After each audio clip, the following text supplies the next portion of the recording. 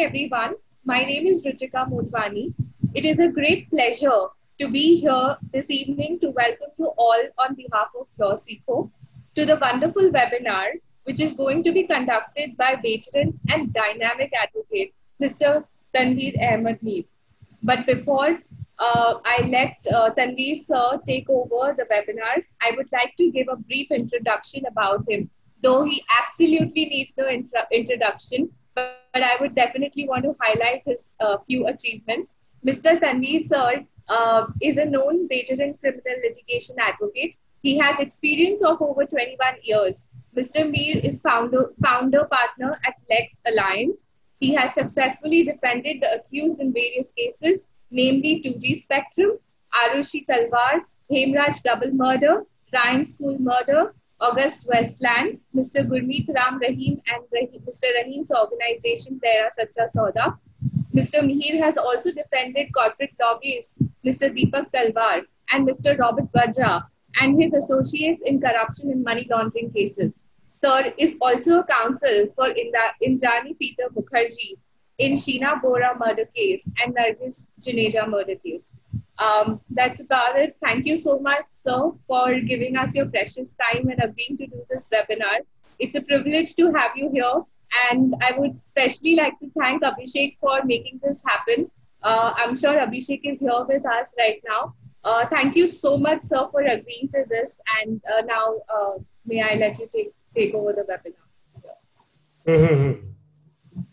Well, uh, thank you uh, very much, Ruchika, for inviting me over. And I would like to uh, um, commend the uh, persuasiveness of Abhishek. I, I didn't know him before. He's a student, so he was after me to agree to speak on how to conduct a murder trial. And since it's students approaching me, so I yeah. decided to do it pro bono. And of course, I believe there are a number of law students on your platform and lawyers as well.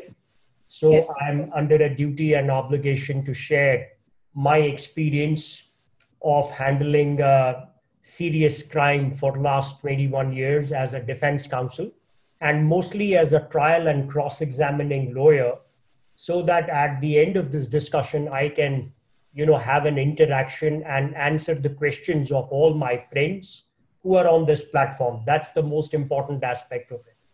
Now, uh, before I begin on uh, how uh, I look at a murder trial being a defense counsel, I would also like, you know, all the participants that uh, they can ask me any question, even beyond the subject that I would be talking about today. They can ask me subject about general practice, saturation in legal profession, practice, progress, advancement, what kind of money lawyers can make and how far they can go you know is it really a difficult profession to set on settle on? Do we really need links? Do we need financial uh, family backgrounds in law? Or can a person who has no background also rise to the occasion and contribute? These are very important aspects. We can also talk about some other things. What happened in courts what happens in supreme court and some ancillary issues around the topic so I would love to answer uh, a lot of questions as and when they are asked. Now, uh, so I must say that, uh, you know, I've uh, spent around 21 years in dedicated crime serious practice. And mostly uh, I've been operating out of the district courts in Delhi, but also uh, district courts and high courts in many parts of India you have also uh, thankfully given the background of some of the cases where I have worked as defense counsel. And all these cases are very important to every lawyer, to me as a defense counsel. Some of the, the, the cases are remembered, some of the cases may not be remembered, but the lawyer has to, you know, have an equal uh, stimulation and interest in each and every client that he defends in a court of law. It's not that because I'm the defense counsel in Aarushi Talwar Hemraj double murders, so I'll give more attention to that case than a somebody who would not be, you know, that you know media highlighted or be in the limelight. That's a fundamental aspect. Now coming back to the topic in hand as to how to handle a murder trial. So uh, I would begin with some basics here.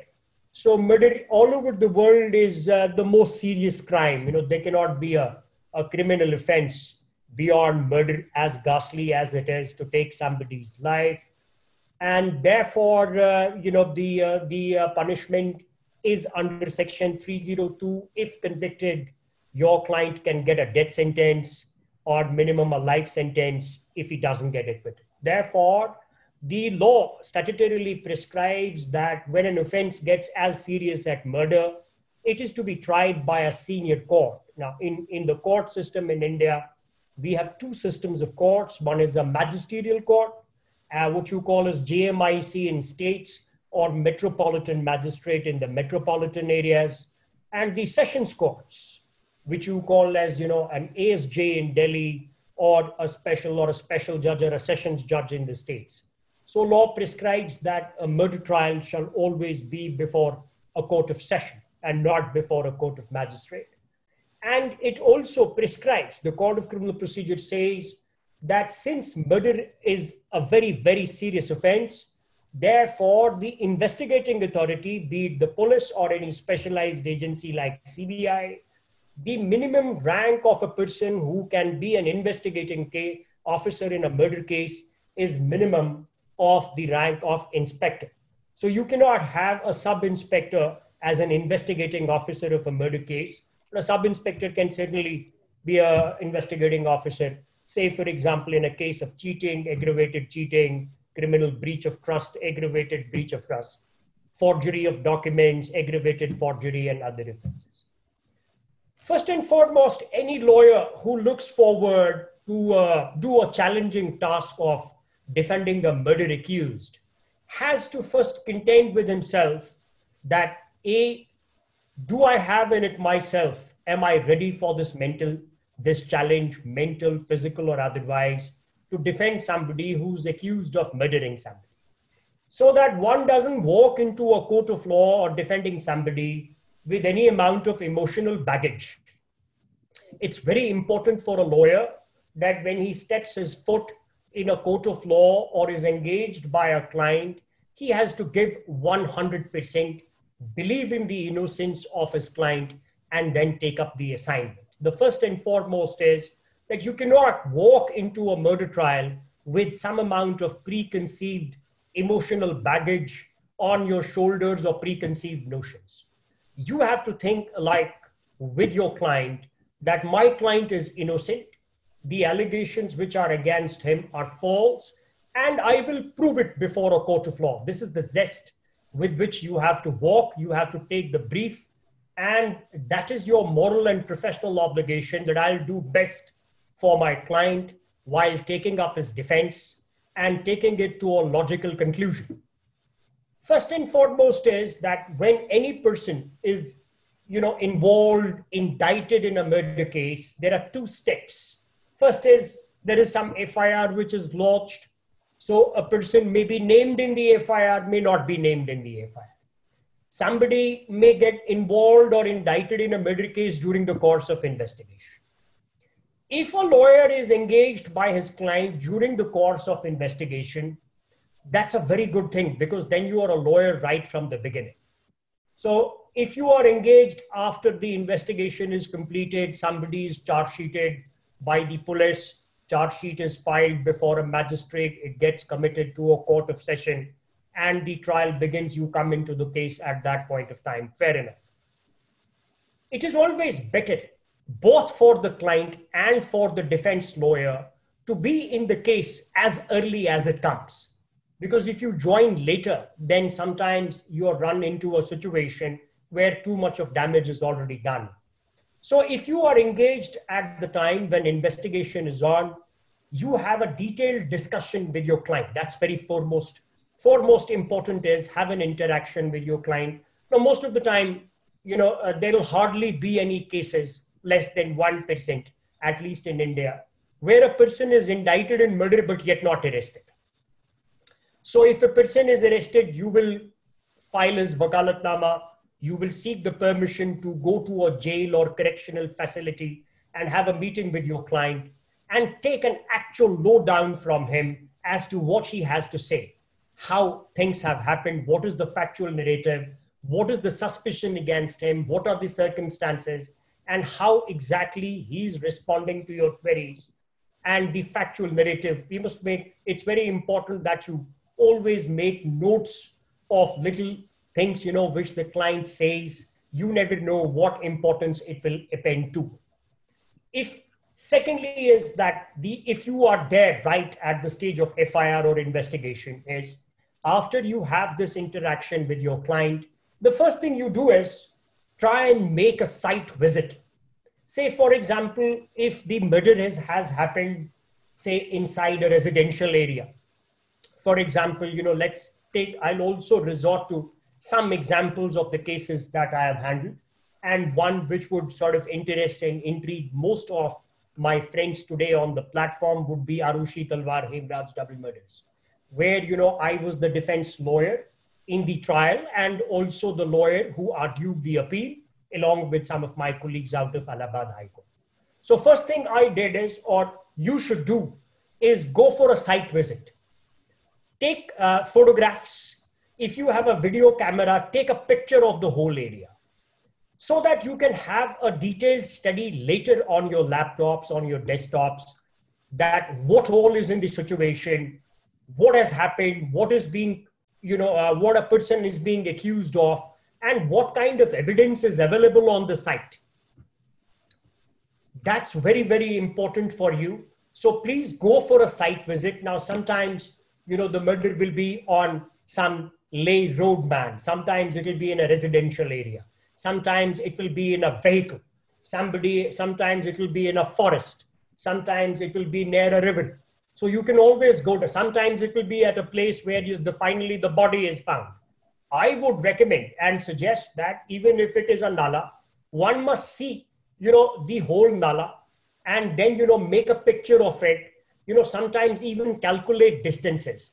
What is the importance of this activity comes during the course of the trial. For example, it is very necessary for the investigating authorities and oftenly we see it on all criminal cases that they always make site plans.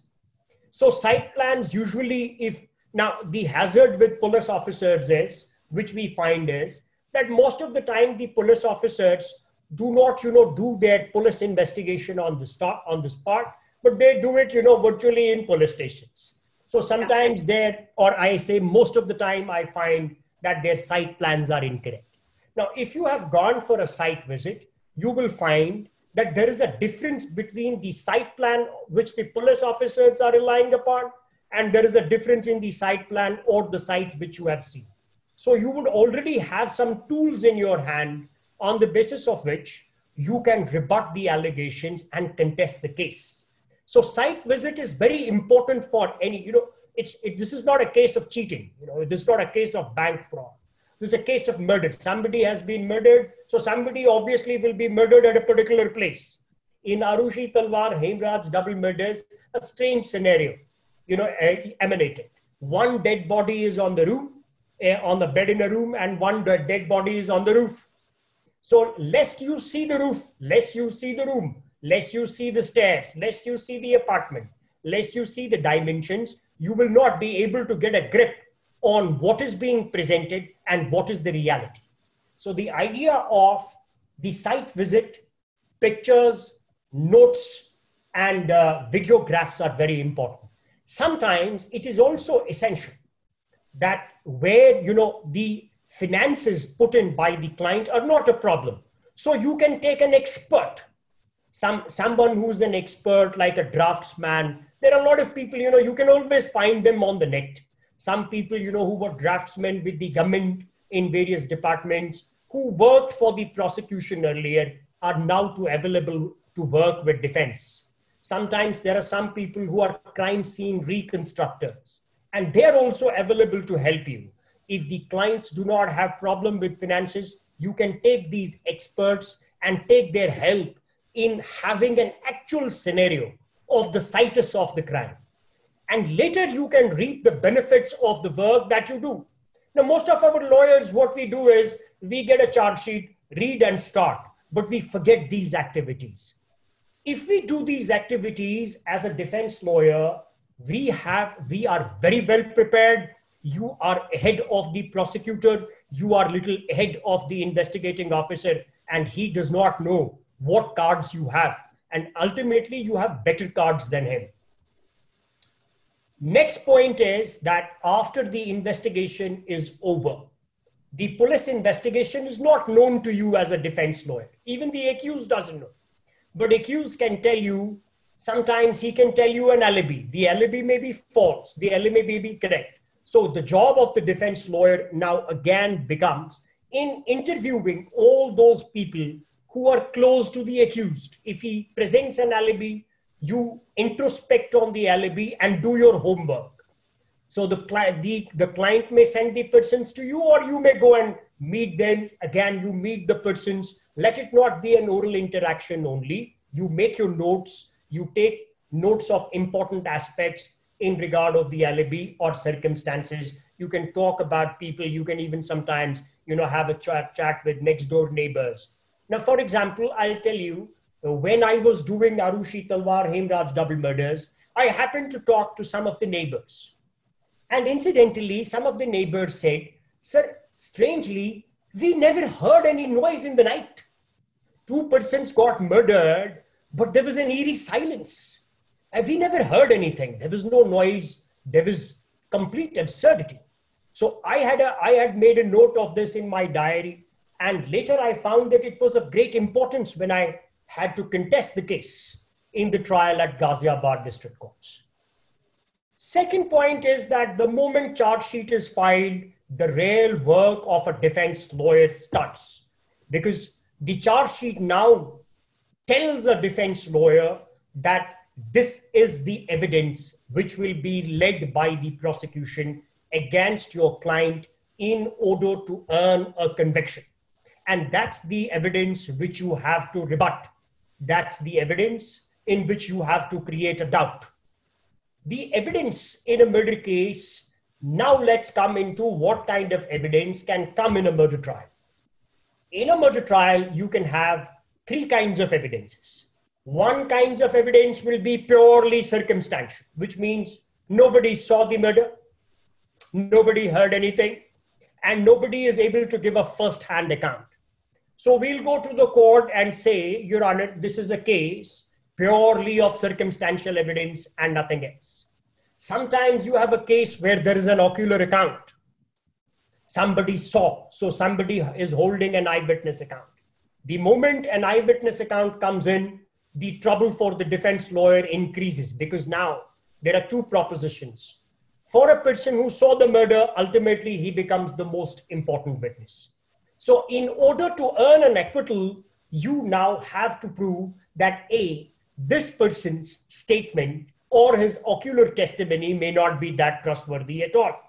So, in order to earn an acquittal in a case of ocular testimony, the burden moves higher, the work moves higher, and you also now need to, to convince your trial judge that the statement of the ocular witness or a person who is holding an eyewitness account is clearly doubtful. So you will have to study about that eyewitness account holder a lot. You'll have to see. Sometimes it's also important, again, in a case where finances are not a problem, to even engage detectives, where you can say that is this person really there? What is his background? How far he's trustworthy? How far he's not trustworthy? What kind of background of a person is? Was he really there? Is he a trumped up witness?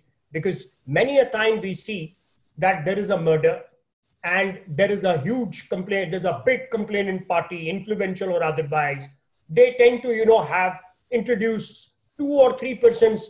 This is a good tendency. Many a time trial lawyers see that there are trumped up eyewitness account holders. But when you do an analysis about them, you find that these are trumped up eyewitnesses. So therefore, the work on the witnesses increases. The third kind of evidence which comes in a murder case from the prosecution side is partly circumstantial, partly ocular testimony.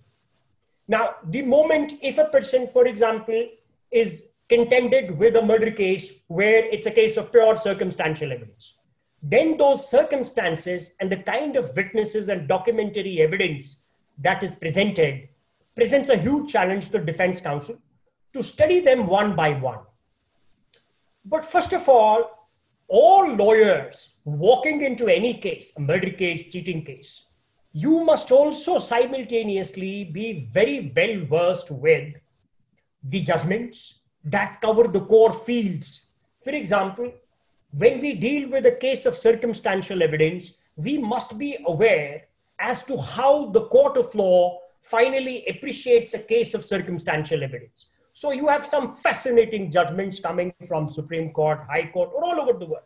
For example, a basic judgment is Padala Veera Reddy, and you come across that Panchsheel five doctrines in a case of circumstantial evidence, where they say that the each circumstance against an accused must be proved by the prosecution beyond reasonable doubt. The circumstances then should be connected to make such an unbreakable chain that there is no hypothesis of the murder being committed by the accused facing the trial, except the hypothesis pressed by the prosecution, and there is no alternative hypothesis. There and then, the job of the defense counsel arises. In a case of circumstantial evidence, there are two objectives to be achieved. One is an attempt to break the case of the prosecution of the circumstances identified on the basis of evidence being proved on its individual strength beyond reasonable doubt. For example, one of these circumstances in a practical case can be let's talk about Aarushi Talwar Hemraj double murders. Is say there is an allegation that, sir, there is an internet router present in the room of the daughter, which, when accessed by experts at the service provider, that is Airtel company, has produced a log. That log shows continuous in- internet activity throughout the night. And therefore, the CBI prosecutors say, sir, there is consumption of internet all over the night. And it seems that there are some breakages so they consult some experts who come up with this theory that the inhabitants of the house have been switching on and switching off the router of the internet physically all over the night. But when the inhabitants of the house, that is the Talwar doctor couple, when they are interrogated by the investigating authorities, they say, Sir, we were asleep and we were not, you know, up alive and kicking in the night. So a circumstance comes up that whether the inhabitants were asleep or whether the inhabitants were up alive and kicking. Now, this is a circumstance which is one of the other most other, say about 14 to 15 circumstances, which will emanate in almost all the murder cases. The circumstances may differ. One of the circumstances can be, sir, whether this is the murder weapon. So if it's a neck slit prosecution says it's a doctor's scalpel. So that circumstance, the prosecution is under an obligation to prove beyond reasonable doubt. So the defense counsel's work comes into play that, Your Honor, this is not a circumstance which is proved by the prosecution on account of following reasons. Now, these following reasons are where? This is not in grounds of appeal. How do you tomorrow argue before a trial court after the evidence is all laid that these circumstances are not proved. How will you prove them? It's not that you will draw your grounds or reasons. It is the evidence that will be recorded. So you have to cross examine those witnesses in a manner that from that cross examination, you will be able to rely upon and read those admissions on the basis of which tomorrow at the stage of final argument, you can contend that this circumstance is not proved, thereby breaking the chain. Thirdly, once you have identified all those circumstances, you have to work on each. For example, weapon. If it's a gunshot, then you have to see that whether this gunshot, the ballistics report is correct, whether it is doubtful. So the forensics comes into play. Important aspects in any murder trial will be that A, the person has, has been murdered, this is a fact. How this has this person has been murdered is what the prosecution alleges. For example, if the prosecution alleges it's a neck chop, but they may say it's a weapon A. If you are able to show in the trial that it's a weapon B, there goes the prosecution case, a doubt is introduced, and your client walks out of the indictment. Thirdly, is the combination of all these circumstances finally should be able to convince a trial judge that prosecution has not been able to prove its case entirely. They may have proved two circumstances, but they have failed to prove about six circumstances or seven circumstances. And that's where you go. Important aspects further remain is that once you study this evidence, so evidence will come to you documentary, evidence will come to you oral. So there may be witnesses of particular circumstances. So you will be up there for their cross examination. Cross examination is the most important tool for any litigation lawyer, be it a civil lawyer, be it a criminal lawyer, be it a company lawyer, or some other, all lawyers who are in litigation. So, lest you are deft in the art of cross examination, do not do litigation at all. So, my advice is what I tell my younger colleagues is that if you want to be a litigator for first seven years of your law eh, of your life you should spend your time in trial courts alone because that's where you see how evidence is led how evidence is broken how circumstances are shattered how you do a cross examination how you prepare but today we have lesser time i will try to you know zoom in everything into your repertoire of handling a trial tomorrow. Whenever you are ready and you know contended with the proposition of cross-examining a witness, you have three foremost tools. Number one is please first go through his all prior statements recorded by the police or given elsewhere.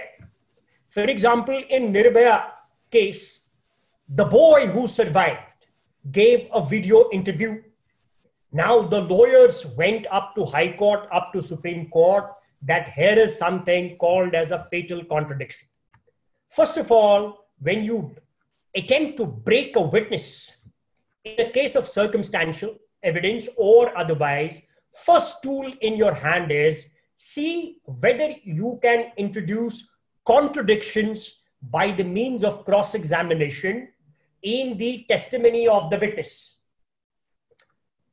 Therefore, first, all you friends must be well aware with what is the law of contradiction. Sometimes people say, oh, contradiction is like, you know, you say this thing here, but you say that thing there. No, no, no, no, no. Every criminal lawyer is duty bound. Now, I am not asking this question today. You will ask me questions later. Otherwise, I would ask this question right now that all of you lawyers at least give me that which is the most important judgment passed by the Supreme Court ever, defining what is contradiction in any kind of cross examination. So, if you don't know it, if you know it very well, if you don't know it, please make a note. It's a constitutional bench judgment coming from Supreme Court called Tehsildar Singh versus State, and it emanated from Honorable Allahabad High Court. So Tehsildar is an encyclopedia, it's an epitome, it's the Bible for a cross-examining lawyer. If you don't know Tehsildar and if you don't read it, and don't read it once, read it at least 20 times to understand what Tehsildar is all about. It's also called as the famous lantern case. So Tehsildar has a humongous history and it emanated out of a fluke. One day in a murder trial somewhere in Uttar Pradesh, a young cross examining lawyer, probably early in his life, happened to ask a question to a witness that, you know, you just stated in your examination in chief that when in the village party was going on, there was light of the lantern, what we in Hindi language called as laltain. But when you recorded your police statement, what statement we generally call as a statement recorded under 161 of CRPC, you not refer to this Laltain at all. So the judge stopped him. He said, Mr. Counsel, why are you asking this question? And uh, he said, Sir, I want to contradict. He, so the judge asked him, Do you know what is the law of contradiction? So he said, Sir, he's just said something which he has not said, you know, in his 161. He said, Sorry, that is an omission. So an omission is not a contradiction. So the, the lawyer then started arguing, Sir, how, how can that be? He said, Well, please go and read. This Tehsildar Singh is a case which happened prior to incorporation of CRPC 1973. If you now read sections 161 and 162, its language is encompassed and called into play directly from the judgment of Tehsildar Singh. So the Honorable Judge, Sessions Judge, was so live, so vibrant. He said, Well, this is a very important issue. The young lawyer is racing is is is is you know uh, raking up for the consideration of the court and on this i think we should have guidance from the high court so the sessions judge makes a reference to honorable allahabad high court which is made under 395 of crpc the reference is sent to allahabad high court. There is a strange situation your honors. My lords are very it? That this is a statement recorded under 161 here is a witness giving something and he mentions there, which is not mentioned earlier, can it be a contradiction? One judge writes the judgment and he thinks that, look here, there is an amiss. We should have a full bench. So, Honorable Allahabad High Court encompasses a full bench to decide what a contradiction is. And a full bench is passed, which is taken by State of UP to Honorable Supreme Court of India. And in the Supreme Court, the matter is deliberated. And finally, you have Tehsildar Singh, which is the final say on what a contradiction is all about. And law on contradictions remains. For a criminal trial lawyer, cross examining a witness in murder case or otherwise, anything that the witness says, which is beyond his 161, is finally to be expunged by the trial judge from the zone of consideration while deciding the case, lest the contradiction is superficial or if it is material. See, this superficial and material is again development of law. The earliest Tehsildar says that if you made a statement which is contrary to your statement in 161, then that part of your testimony will be read out. That is still the law. The law further has developed where the Supreme Court judges said my myriad circumstances, poor country, less police paraphernalia. So if it's a contradiction which goes to the root of the matter, then that part of the testimony shall be read out. First tool in the hand of, therefore, a cross examining lawyer is to discredit the witness on the basis of introducing contradictions. Now, whether a contradiction will be material or not is left finally to the fate of the case and the wisdom of the judge in a specific factual narrative in which the case presents itself. Let me now relate this very important aspect of conducting a murder trial with an example in hand. Let's go back to Aarushi Talwar Hemraj double murders. So, very important aspect of contradiction arose. The first person on 16th of May 2008 to visit the apartment was, you know, a daily maid called Bharti Mandal. She testified in the case. She had three 161 statements, one recorded by Noida police, two recorded by CBI. Here she comes into the court and gives a statement. In the statement, you know, she talks about a lot of things here and there, which are not a part of her previous statements at all. Finally, in the cross exam, she enters into cross examination. We ask her questions, we ask her questions. And finally, she says that, look, whatever has been taught to me, I have stated in the court. So, Hindi बोलेंगे दो गवाह ने अदालत में बोला देखिए मुझे जो सिखाया गया है वही बयान मैंने अदालत में दिया है that you know once it came in the testimony i thought that you know fine there is no nothing more need, needs to be asked, thank you very much. Let's go home. When it came to the trial judge, he had none of it. So he would say that, look here, this witness comes from a very, very, you know, uh, marginalized, says, you know, uh, sector of the society. She's a person who has come from Malda district of West Bengal to work as a maid somewhere in NCT Delhi. So even if she has said this, this doesn't move me. But there were two to three fatal contradictions in her testimony. For example, she said in her chief, she said, look here, when I press the bell, sometimes pressing, the, we press bells on a daily basis. But sometimes on pressing of a bell, somebody may get a death penalty or somebody, you know, may get acquitted. That's the beauty of a cross-examining lawyer and the legal practice. So she says, I press the bell, then I touch the door. And uh, I press the bell again. And I was looking from the outermost door, which is a mesh door. And there is a third door where the lady opened and I started to have a conversation with her. Now, I contradicted her in the cross examination that when you recorded your statement with the first investigating officer, did you say that I pressed the bell and put my hand on the door? So she said, I don't remember. So I said, fine, let's go through your statement. So the whole statement was read out to her and it was recorded that this portion is not a part of her first statement. This portion is not a part of her second statement. And this portion is not a part of her third statement. That be so, it came on record. Now the testimony is locked. Police statements are there. And we are before a final argument. Evidence is closed so what do we have in hand as a, uh, as a cross-examining lawyer or now an arguing counsel? So prosecutor will say, sir, look, this lady pressed the button, pressed her hand on the door. The door did not open, which means the door was bolted from inside. If the door was bolted from inside, then the murderers have to be people who are inside the apartment alone. Then outsiders did not commit the murder. No, if no outsider came, then who can be the murderers? Then the inhabitants alone. Well, I said, well, but this seems to be some kind of a big Scud missile on my head. So I said, sorry, Your Honor, I would like to rely, place complete comprehensive reliance upon Tehsildar Singh. Well, he said, Mr. Mir, Tehsildar Singh, I have read many times. What will you get out of it?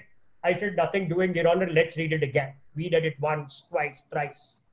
I said, now please see this testimony the fact that she introduces this hand on door theory for the first time in her testimony when she comes and takes an oath and records a statement has great relevance and is material to the whole case. The judge says, Why, Mr. Mir? I say, Your Honor, because it's from here that the learned prosecutor seeks to argue that the murderers are my clients and nobody else. Therefore, this has a great significance and it's a material improvement. It's a material contradiction which will go to the root of the matter in the factual narrative of the case. So the judge says, Well, I'll think about it. When the trial court verdict comes, I get a life sentence for both my clients. Okay, one doesn't lose heart. You know, we go on fighting, we go to High Court. High Court, we argue for four months, and this aspect is argued for four days. So, as a cross examining lawyer or a high court lawyer or any lawyer who's arguing a case, and let me tell you, the best lawyer to argue the case is always your trial lawyer, nobody else. Because nobody knows the case more than the trial lawyer. So, let me tell you, all my friends, that this aspect of hand on door in Aarushi Talwar Hemraj was argued for four continuous days in Allahabad High Court, amongst reading nothing less than more than one dozen judgments. That's the importance of contradiction as a tool in your hand to break a witness, to create a contradiction of which you can derive a mileage at the stage of your final arguments. Remember, a criminal trial lawyer does two things fundamentally. One is that he's very well versed in the law that he reads, that he practices. So I must be able I must be aware that what is the law of contradiction. And if I introduce a contradiction, how I will relate that contradiction to the prevalent law or the judgment of the Supreme Court and presented it in a manner before the court where the court is convinced that on account of this contradiction, the witness cannot be believed at all. And counter will be the task of the prosecutor because he will be at you all the times that this is proved. And let me tell you, there is a proposition which the judges write that prosecution is not under an obligation to prove its case on mathematical propositions. Well, let me tell you, as a defense lawyer, even the defense lawyer is not to prove his case on mathematical precision. If there is no mathematical precision for the prosecutor, it ain't not me. ना वो burden मेरे आप पे मेरे पे है ना आप पे होगा when you will handle a murder trial by the grace of God in ahead of your time with aplomb and with some amount of authority. Remember these things. So contradiction very important too. Study of witness very important. What what is this witness? Where does he come from? Is he speaking the truth? So sometimes we also have to say if our client says that's sir, according to me the presence of this witness is very doubtful at a place where he says.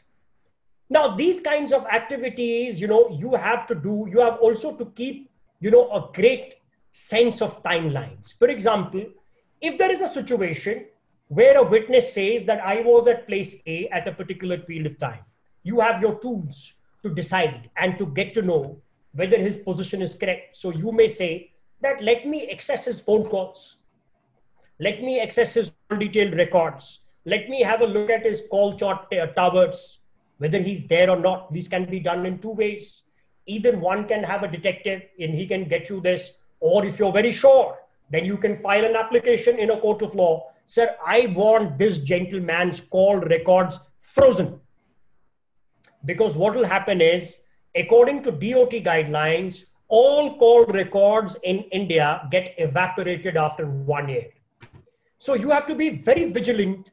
When you see in a murder case, you will have the charge sheet in three months' time.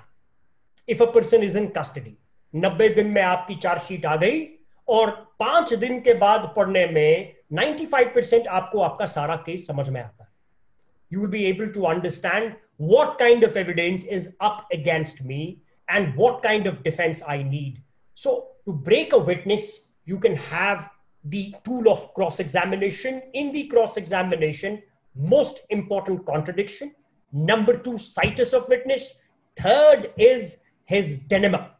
When you cross examine, you must know what to ask that witness and what not to ask. One last important aspect of cross examination is very important, which sometimes we forget. You know what your defense is so you are under an obligation to put your defense to each of the witnesses by the means of suggestions. So you will say to, to a witness you who says for you for who you have a defense that look here you're a liar. You are claiming to yourself to be in defense colony Delhi at nine o'clock on say 1st of January 2018, but actually you're not there. If you don't give this suggestion to the witness, you're nowhere in the trial. So importance of giving suggestions specifically to the most important witness, very important. You also need to categorize your defects. Categorize means that you have to see that in a case of circumstantial evidence, ocular testimony, what is the kind of evidence that has come? So some witnesses will be oral testimony, some witnesses will be totally forensic evidence. So you have to prepare for each and every forensic evidence, each and every oral testimony coming, let's now come to forensic evidence is always an important aspect of a murder trial. So forensic evidence, what a forensic looks for. A, if it's a case of neck slit, bullet shot, gunshot injury, hammer, head injury, you will see the situs. So you will see cops, usually crime scene teams, you know, collecting what you call as, you know, blood-soaked earth samples, rock samples, you know, uh, sometimes shoe prints, sometimes handprints, sometimes fingerprints, and sometimes, you know, uh, when they catch the accused, there will be a, a, you know, a very strong search of any directly indicating connecting evidence. For example, if the blood of the deceased is on the clothes of the accused, well, consider yourself 90% gone.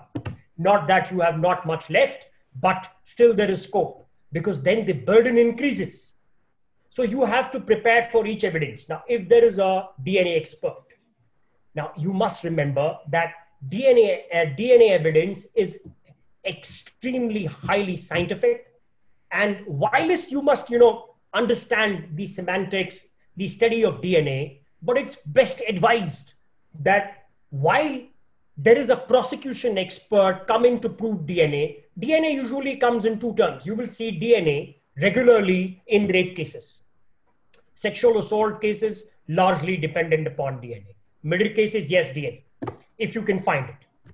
So important aspect is that if there is a prosecution expert, get your expert in defense prepared well in advance. Never risk your client in trying to depend upon your ability of cross examination with an expert alone, taking him into the stage of final argument.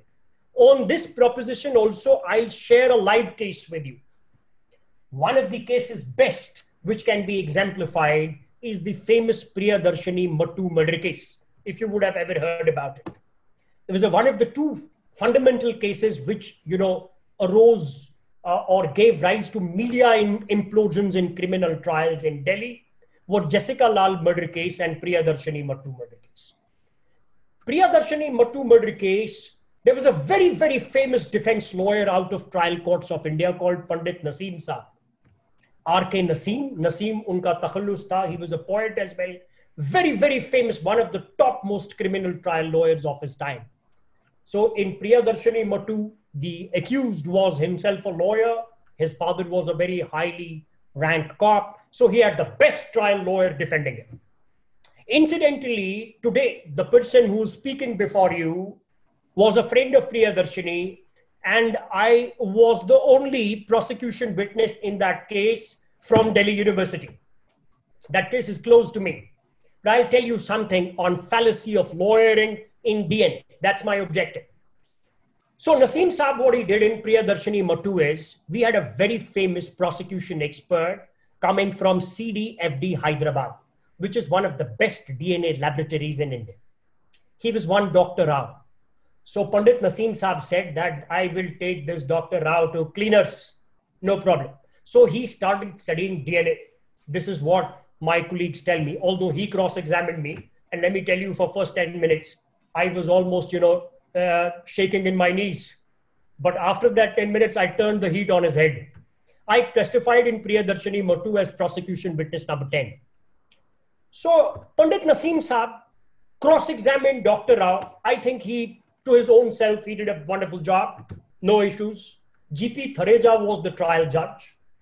And GP Thareja was the trial judge in Tandoor Kand. Sushil Sharma Tandoor Kand. That when he chopped his wife and you know put that in a tandoor in uh, a hotel in Connaught Place and set it on fire. So same GP Thareja.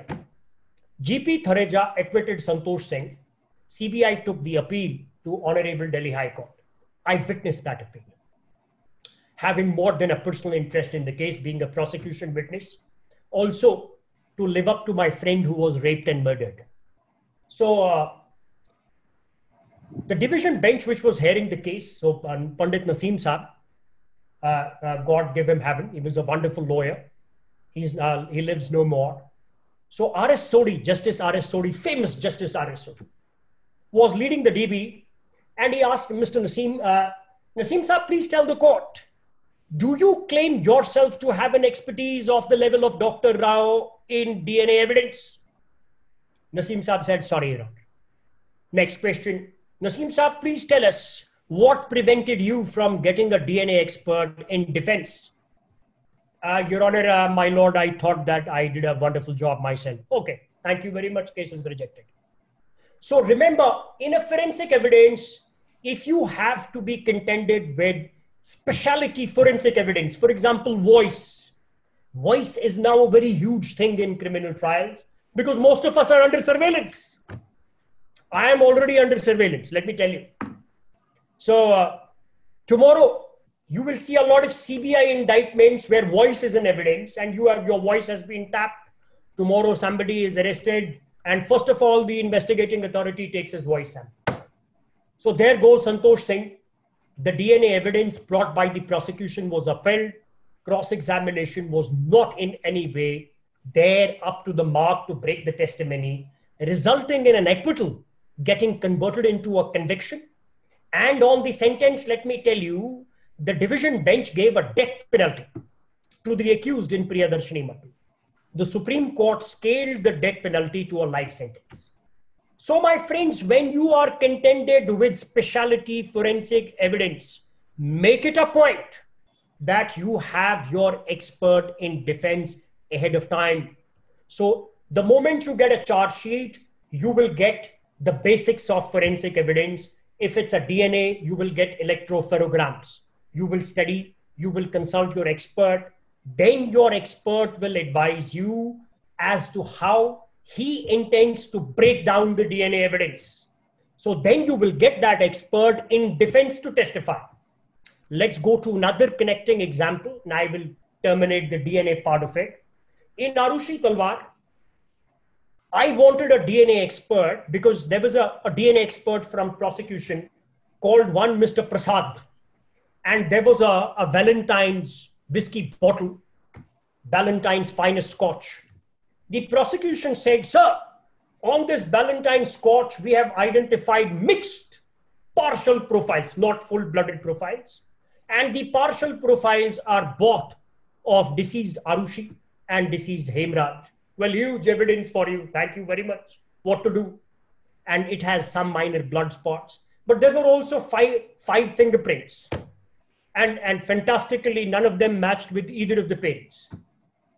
But prosecution charge was that there is a mixed partial profile. I, as a defense counsel, wanted to say that prosecution expert is a duffer. Sorry for using the word.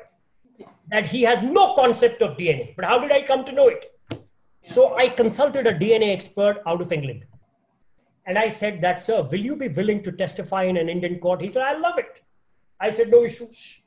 So when it came to my turn of educing defense, I filed an application before my famous judge called Shyam Lal in Ghaziabad, also very funnily called as Saza Lal. The man had never acquitted anybody. So he said, Mr. Mir, I will not allow you to have a defense expert at all. Thank you very much. You can go wherever you have to go. I said, very well, Your Honor. I took the matter to High Court. I said, my lord, I'm facing a double murder charge. And the trial court is saying me that you can't have a defense expert. And he's not even willing to share the databases of DNA evidence with me. So High Court had none of it, although there was a five-day argument.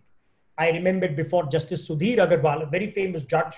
And let me tell you, gentlemen and ladies, Justice Sudhir Agarwal was one of the judges in the three judges Ayodhya judgment coming from Allahabad, which was challenged in Supreme Court. So a fantastic judge. He allowed all my petitions and I got an expert from England to testify in a court in Ghaziabad where if you sit, your pants next day are in tatters because the, the, the seats are all broken and it have nails coming out. बैठते ही आदमी की पतलून फट जाती That's the kind of infrastructure. But I tell you, in all these courts, work is done. So in comes Dr. Andrei Semikhodskii, an expert out of England who testifies for both prosecution and defense. So he said to the court, the judge was very puzzled to see a British expert coming in a murder trial in India. He said, how do you intend? So after, you know, he adduced, I, you know, we sat on the testimony and I drafted it and how you have to present yourself in an Indian court. He did very well. So he, the judge then, uh, you know, sort of since he was a foreign expert, the judge called us for a cup of tea in his chambers. So uh, he asked him a question that Dr. Semikhodskii, what do you think about this Indian expert? So he said that, sir, if he comes and testifies in England, he will lose his license. And that's the way I was able to rebut the entire testimony of a prosecution DNA expert. So, my younger friends, remember, when it comes to forensic evidence, DNA ballistics, handwriting, biological fluid, crime scene reconstruction, anything, be prepared to discuss it with your client to have a defense expert. Sometimes a defense expert is not that costly. You know, sometimes a defense expert will say, all right, I will charge you 30,000 rupees.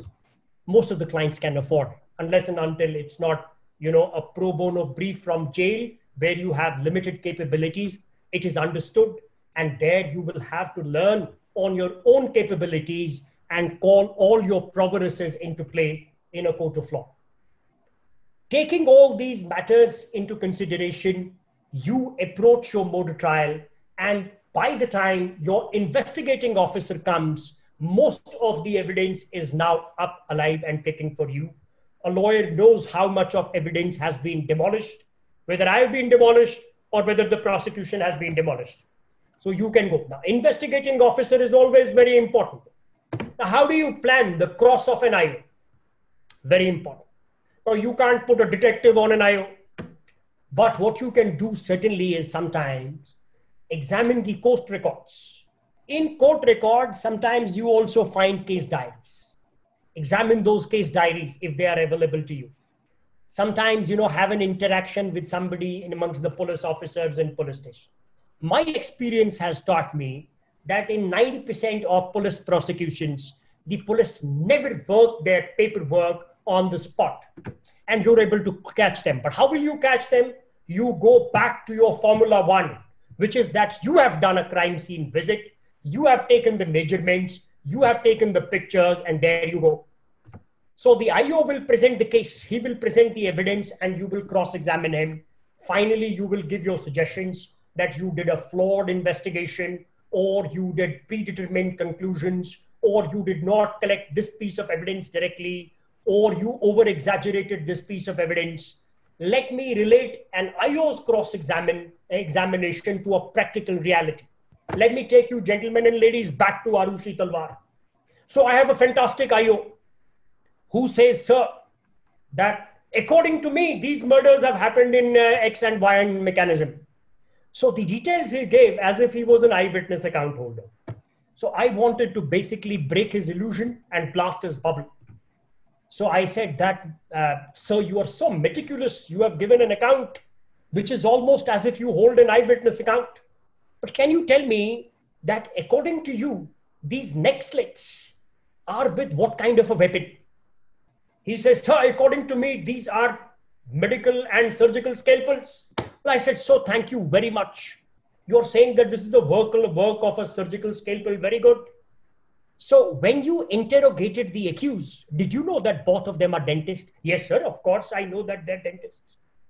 So did you ask them to present the dental scalpels, which are usually in the dental tray of a dentist? Oh, I said, sorry, I, I didn't do it. I said, can you tell the court why? Why? he said, I didn't deem it necessary. I said, do you know that a dental scalpel, which is ordinarily used by 99% dentists, has a cutting edge of only seven millimeters. And when you have a neck slit where half of the neck is chopped, in a single clean cut, you cannot use the dental scalpel at all because such kind of a scalpel will give you a jagged cut. So the investigating officer was shaking in his knees. On one hand, he had been brought up an illusion. On the other hand, he had not done his basics. If his case was there are two weapons, one is a golf club one is a surgical scalpel, then he needed to have collected both. Additionally, I had an additional two. You never know. In a case that you study, something may come in the record.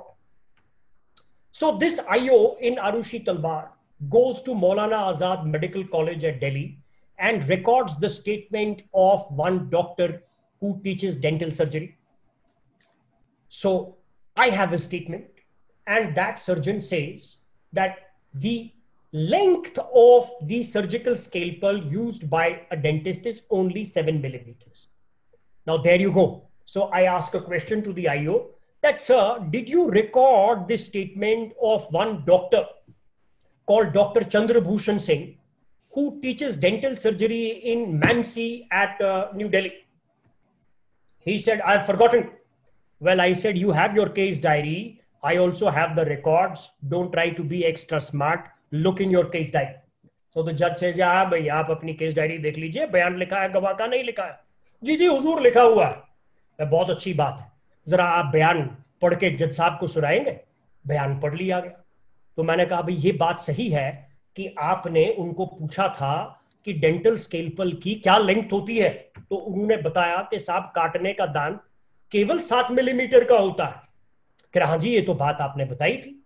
मैं कहा, देखिए आइयो साहब, क्योंकि उन्होंने आपको ये बात बताई कि काटने का दांत केवल सात मिलीमीटर का है, इसीलिए डॉक्टर राजेश तलवार से आपने उसकी डेंटल स्केलपल कभी नहीं मांगी। क्योंकि आपको ये पता था कि साहब if you ask for a dental scalpel you will have to send it for a forensic opinion. And you would have got an opinion which would be in the negative. That's why you kept this aspect dark. And you trumped up the case against my client. There you go. In the trial court i met no success. In the high court the strongest ever strictures passed against the CBI in independent India is in this very case. So the trial court who convicted my clients was called by the division bench as some kind of a film director. Sometimes the division bench called him as a weird mathematician who was trying to solve an impossible puzzle. But the importance lays in what I asked. What was the purpose of the asking? and how I intended and built up to demolish the prosecution witnesses. So much has been talked. So I would say to conclude this session, each witness to be prepared individually. Don't get bogged down. When Virat Kohli goes down to bat, seeking to chase 350, he goes over by over. अगर वो पहले ही बोलेगा कि साढ़े तीन सौ तो मैं दो ही ओवर में बनाऊंगा तो अगली में विकेट ही बाहर निकल जाए so you have to present and prepare your case witness by witness. Don't get bogged down by the magnitude of the trial or the attention or what media is saying. Media bhi case decide nahi karta. Media can do its, you know, roti making. All right. The media has to earn a lot of money, no problem. They'll make money in your misery. They'll make money in your happiness. The court of law will finally decide your case on the basis of in a criminal trial and a murder trial, there will be only two things. Number one is examination in chief, cross examination. Forensic evidence, lead in chief, cross examination. Defense evidence, chief, and cross examination. Mm-hmm. One important aspect is your statement under 313. Because once prosecution evidence is over, the judge will ask all the questions based on evidence to you. That is not a stage two for any kind of complacency to set in. Each answer has to be made very, very particularly. Some judges ask the questions directly to the clients, and mostly clients flounder. So you need to prepare your clients. Sometimes they are given in a questionnaire to us, so we fill them up. Sometimes they are directly asked to the question. If the answer goes wrong, your whole work will come to an end. So prepare your client thoroughly for 313. Remember one thing your defense has to be there consistently right from the word go. When you argued on charge, it is the defense. When you cross examined each witness, you gave the same suggestions. When you wrote your answers, and the last important question in 313, which I must emphasize, is earlier when he used to say, there's to be a last question. Why this case against you? And do you have anything else to say? So most of the lawyers would say, कि साहब लिख लो I have been falsely implicated thank you इससे अलावा आज आगे कुछ लिखने की जरूरत नहीं no no no not now 313 is a salutary provision. So every murder trial lawyer is under his obligation to give a detailed statement under 313 last question why is this case against him and why is he innocent?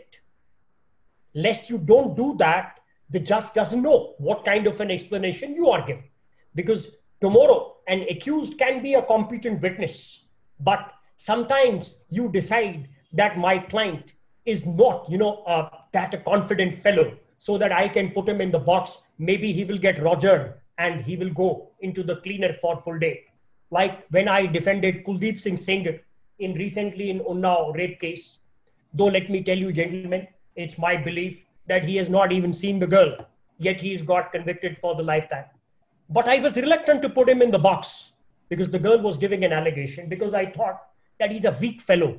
He may murder his case. The case which I have otherwise won on evidence may get murdered in his cross examination. So, in all cases, you will not get the accused to testify as competent witnesses, but you will give a detailed statement under 313 enlisting the reasons why he is innocent and why he should be acquitted. Then you decide, depending upon what is the quantum of prosecution evidence, whether defense evidence is necessary or not. Sometimes it may be necessary, sometimes it not be necessary. Where it will be necessary, important. If it's expert evidence, then expert in defense. If it's a factual narrative, then some factual narrative to the contrary. For example, if you have an alibi. Now, alibi is something you have the the accused takes the alibi directly the prosecution doesn't have to prove your alibi if the prosecution says that you were in delhi at an x point of time you say sorry sir i was in bombay then the alibi burden is on accused and accused alone so those witnesses have to come they have to be trained you have to train them before into they go to the court of law so that they don't you know tomorrow go give bloopers and demolish your case in the trial Remember these things, friends. Most important, in your free time, I would recommend you read Veera Padala Reddy, Circumstantial Bible. Read Tehsildar Singh. Read judgments on Section 8 of Indian Evidence Act. Read judgments on Section 9. Read judgments on 45. Sometimes the law says, sir, expert testimony is not binding on a court. Sorry, not now anymore. A DNA evidence is so crucial that it can never, no court can say that I will not call upon DNA evidence at all. So, therefore, expert testimony, each and every aspect, what you must do is collate all these judgments and have them in your computers. In your free time, you can read them.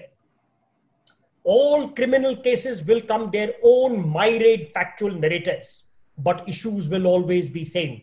In a case of murder, murder is a fact. Correct? there is a case of culpable homicide of first degree. The judges know it, the lawyers know it. Sometimes you say that the murder has been committed in an X manner, and that's a fact. The question always is who did it? And that's a question that you have to answer. If you go to the court with enough material at the stage of final argument that, sir, the prosecution case that I did it does not stand proved, you're out. And there goes your client. If otherwise, there is always, let me tell you, never lose heart when your client gets convicted because appeal is continuity of trial. And thank God, in appeal, what happens is that the trial court judgment is kept in the drawer. I have a drawer, I'll keep it in the drawer. The appellate court is not supposed to look at the trial court judgment at all in the first appeal. What does the appellate court do? Appellate court says start from PW1. We want to go into evidence each witness again. So appellate court in a murder trial, that is a division bench in any court, in any high court in India, will reappreciate the evidence. Sometimes they may give you an opportunity even to record more evidence, but not on a daily basis. So they will go through the whole evidence and they'll come to a conclusion that whether this evidence is good for a conviction or bad for a conviction. That's the way you go about it. A be prepared, use your time, let's read the judgments, let's compile them, and uh, uh, ultimately be prepared with your chart sheets, do your site visits, take pictures, take notes, take the help of experts wherever the client is capable, and there you go. I'm sure that there will be many cases, you know, where you will earn acquittals, and some of those acquittals, you know, will also catapult you somewhere very high as high-reckoned lawyers so that's not the first objective. The objective is to face a challenge. And lastly, friends, I must tell you that never be undermined by the magnitude of the case. A good, strong trial lawyer never refuses a brief. So the more bad the brief is, if tomorrow you have a case which is very bad, it's a conviction written on the wall. You should be the first person to take that case. Take a chance. Never run away from a challenge in your life because it's the challenge which you which gives you the insulin shot. It gives you the adrenaline. It's a challenge that a person has to live up to. Believe in the innocence of your client. Do things fairly. Do things properly. Do things reasonably. Let's not resort to any kind of unethical activities, but do things fairly so never refuse a brief just because you think that there is a written conviction. Be prepared to take a bad case, worst case, and go into the trial with complete confidence. Do your bit. Let me tell you, there are cases where even the losing lawyer gets a lot of fame. And that fame will be yours always and ever.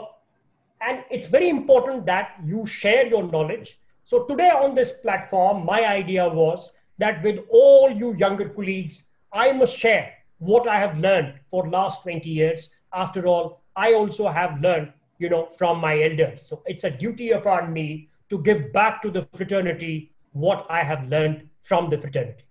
Thank you very much, Ruchika. Thank you, my friends. You so much, sir. Thank you so much. I would be wonderful. more than willing to answer any kinds of questions that you have come your way regarding the present issue or any other issues that my younger friends would be wanting to know more about. We have almost 100 questions. Uh, Let's go one by one. The first question uh, is from Abhinandan. He says, uh, I want to know about criminal law firms in India. I am doing LLM in criminal law. So, apart from practice, whether I can join any law firm which is having expertise area in criminal law. All right. Abhinandan is an LLM student, right? Yes. And he's working for an LLM and he wants to join a law firm which handles criminal practice, right? Yes. So, Abhinandan, thank you very much for your question, my young friend. I am also an LLM, and let me tell you, I have an LLM in intellectual property law, but I am a criminal trial lawyer. So it's never late. It depends upon your personal zest. Yes, there are a number of law firms, uh, you know, where there are partners and lawyers who are doing uh, dedicated criminal practice. But uh, yes, it, it all depends upon what kind of criminal practice you want to do, because a lot of lawyers want to do white collar crimes and they want to do uh, cases related to money laundering, uh, CBI trials, prosecutions, corruptions. Well, uh, any of the law firms, you know, a lot of law firms have their, you know, um, their kind of work on their websites. But uh, the uh, important aspect is that any person who wants to, I, I said in my speech also, that any person who wants to be a litigator, whether you want to do uh, you know, uh, dispute resolution uh, in criminal or civil law, you must be deft first in trial practice. So I recommend that any person, for example, you know, somebody wants to do a tribunal practice. He may not necessarily go through the rigmarole of trial law. But if you want to do litigation, you want to do arbitration, you must spend five to six years dedicated in the trial courts. Wherever you want to go is your way. Sometimes law firms take you to trial courts Sometimes individual lawyers take you to trial courts. But let me tell you, a trial lawyer, you know, who at the beginning of his career may be earning very less money compared to a person who works with Amarchand Mangaldas. But let me tell you, 15 years down the line, the trial lawyer will be earning money 500 times more than so I, I, I, I believe that uh, uh, my, your query is answered and you will pursue your dreams accordingly. Abhinandan, thank you very much. Shivan, uh, yes, the video will be available. It's already live on YouTube, so you can always check. There's another question from Ashish. He says, uh, What is the difference between murder, culpable homicide, not amounting to murder? well, it's very simple. If I take a gun and fire it in a crowd, I don't know who will die. I don't have an intention to kill anybody, but I know that the my act is so reckless. I have the knowledge that I will end up killing somebody. That's culpable homicide, not amounting to murder. And murder is that when I know that I will stab you, I will shoot you, I will throttle you, and you will die. That's the fundamental difference. It's a very, very classic case, a classic example. You take a gun, don't have a gun, let me tell you use an example that A fires a gun in a crowd of people, ending up killing one Z. Its case, it's called as culpable homicide not amounting to murder. In England and in America, it's also called as manslaughter. That's the difference, my friend. I hope your question and query is sufficed. On. Um, Jayesh has a question. He says, Sir, what would you suggest a junior lawyer at an early stage whether to opt for a particular stream of practice and stick to it or explore everything that comes their way? All right. Younger lawyer, very frank, very important. Younger lawyer, I'll say that a, it all depends upon what kind of fire is burning inside your stomach. If you say that, sir, I want to be a dedicated trial lawyer and I'll practice criminal law, well, then there's no backing out. With me, there is, I believe in a simple philosophy, not a step back, not a step back. So, yes, it depends upon what you want to do but if you want to take things as it is, I'll say at the younger level, you know, do a bit of trial law, do a bit of civil trial law. I want my younger lawyers who are in litigators to get an experience in, you know, cross examinations. देखिए एक वकील और वकील में क्या फर्क होता Trial lawyer, a litigating lawyer can advise a client anywhere in the world.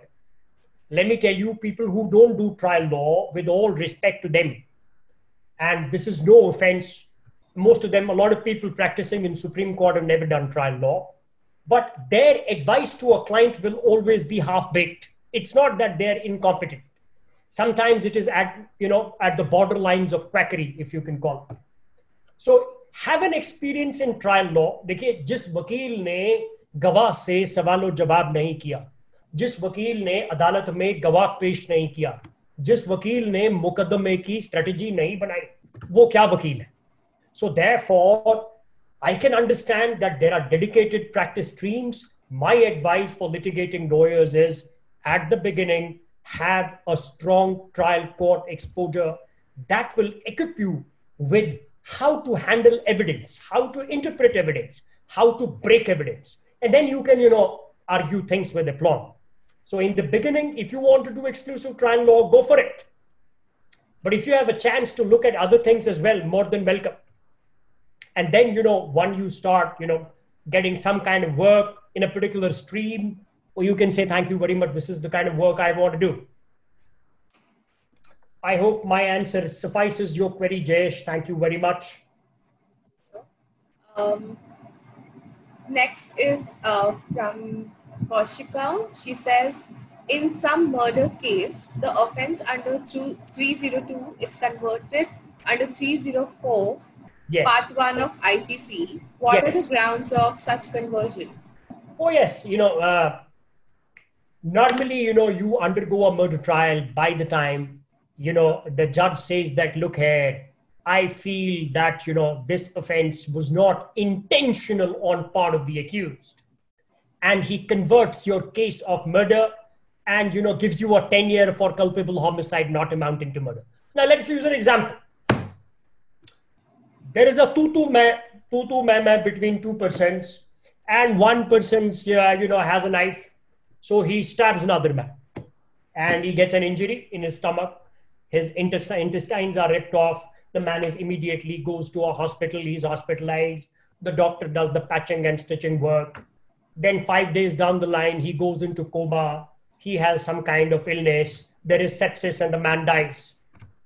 Now the accused is charged for murder now, you as a cross-examining lawyer will try your best to say that's a I was not there. This is the, not the knife. This is not the injury. I didn't do it. Judge says, sorry, you did it. But I feel that this one blow was not good enough. It was not intentional. You did it on the heat of the moment. So I'm taking you out to 302 and giving you a 304 part one or part two. Thank you, Kaushika. I, I hope that your uh, question is properly answered. Thank you, sir. Moving on to the next one. Um, I don't know what's the name because it says home iPad. And the question says the book titled Aarushi by Avirook Sen yes. gives a day to day account on the entire Aarushi, Aarushi Hemraj murder case. Yes. The book sums up that parents are not guilty and yes. there was lapse of justice. What's yes. your outlook on the book? Well, I, I, I, I uh, you know, uh, Avirook Sen was uh, covering the. Uh, Avirook Sen is a freelance journalist. He was covering Aarushi Talwar Hemraj double murders much before I went to do the trial in Ghaziabad for the Talwar dentist couple. So he had his own perspective about the investigation. He had studied the papers and he was there in the trial every day with me. So, to a very large extent, you know, his style of narration uh, is uh, uh, very impressive. But uh, he, he has his own conclusions and he uh, found from the evidence that the CBI case uh, in the trial court was all but an illusion. And since there was such a huge media implosion and, you know, probably I uh, my clients also ran into a very, very strong conviction minded judge, uh, leading to a conviction in the trial court and leading to complete exoneration in the High Court. You know, Aarushi Talwar, a double murder acquittal from Allahabad High Court, is not an acquittal on benefit of doubt. It's a case of complete exoneration because you don't pass strictures against the investigating agency in your appellate judgment saying that they tampered with evidence to implicate the dentist couple falsely. You don't pass strictures against the trial judge and uh, still, you know, have a case of benefit of doubt. So Avirook uh, wrote a fantastic book. I've read his book and uh, uh I've been in touch with him many times. And uh, I think what he says in the book is largely very true. But if you have seen that film called Talwar, that I will say is 95% fact, 5% conviction. Um, uh, you know, um, uh, but uh, uh, Avirook Sen book is 100% fact. Thank you, Offer Joseph. Can I have the next question? So, uh, how to discharge burden under Section 106 Indian Evidence Act? Any oh, judgments? Oh, wonderful. All right. Who asked this question? Uh, Katyani, if uh, I'm pronouncing her, I'm pronouncing her name correctly. All right. So, so she's a lawyer or a law yes. student? She's I a lawyer. Not sure. All right. No issues. So 106, very special burden. Lawyer. She says lawyer. She's All right. Lawyer. Very good. So 106 is, you know, the, the language as it says is in criminal defense or civil defense civil trial, criminal trial, there is something called as basic theory of burdens, and one must read it. You know, read read judgments on burden.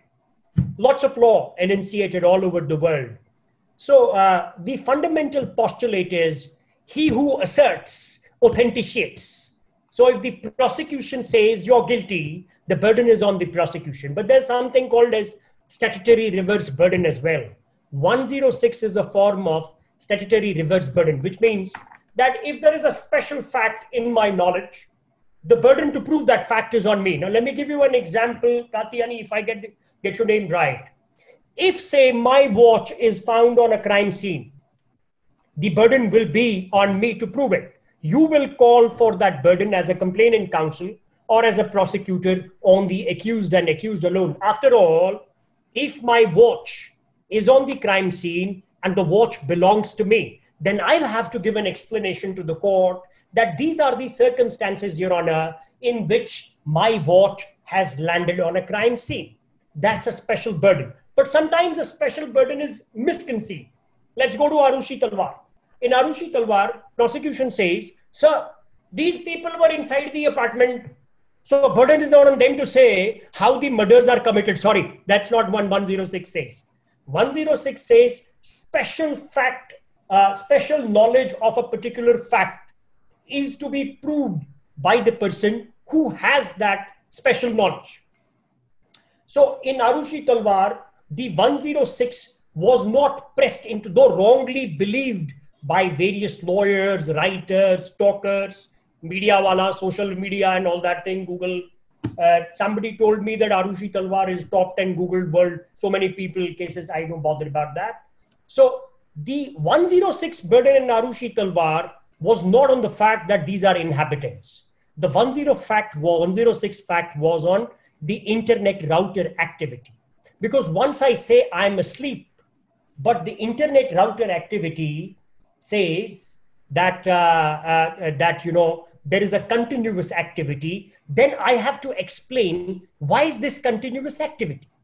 That you know can be called into play. That and I'll give you a celebrated judgment on 106. Katyani, you must read Shambhunath Mishra, versus State of Ajmer, that is 1956 Supreme Court.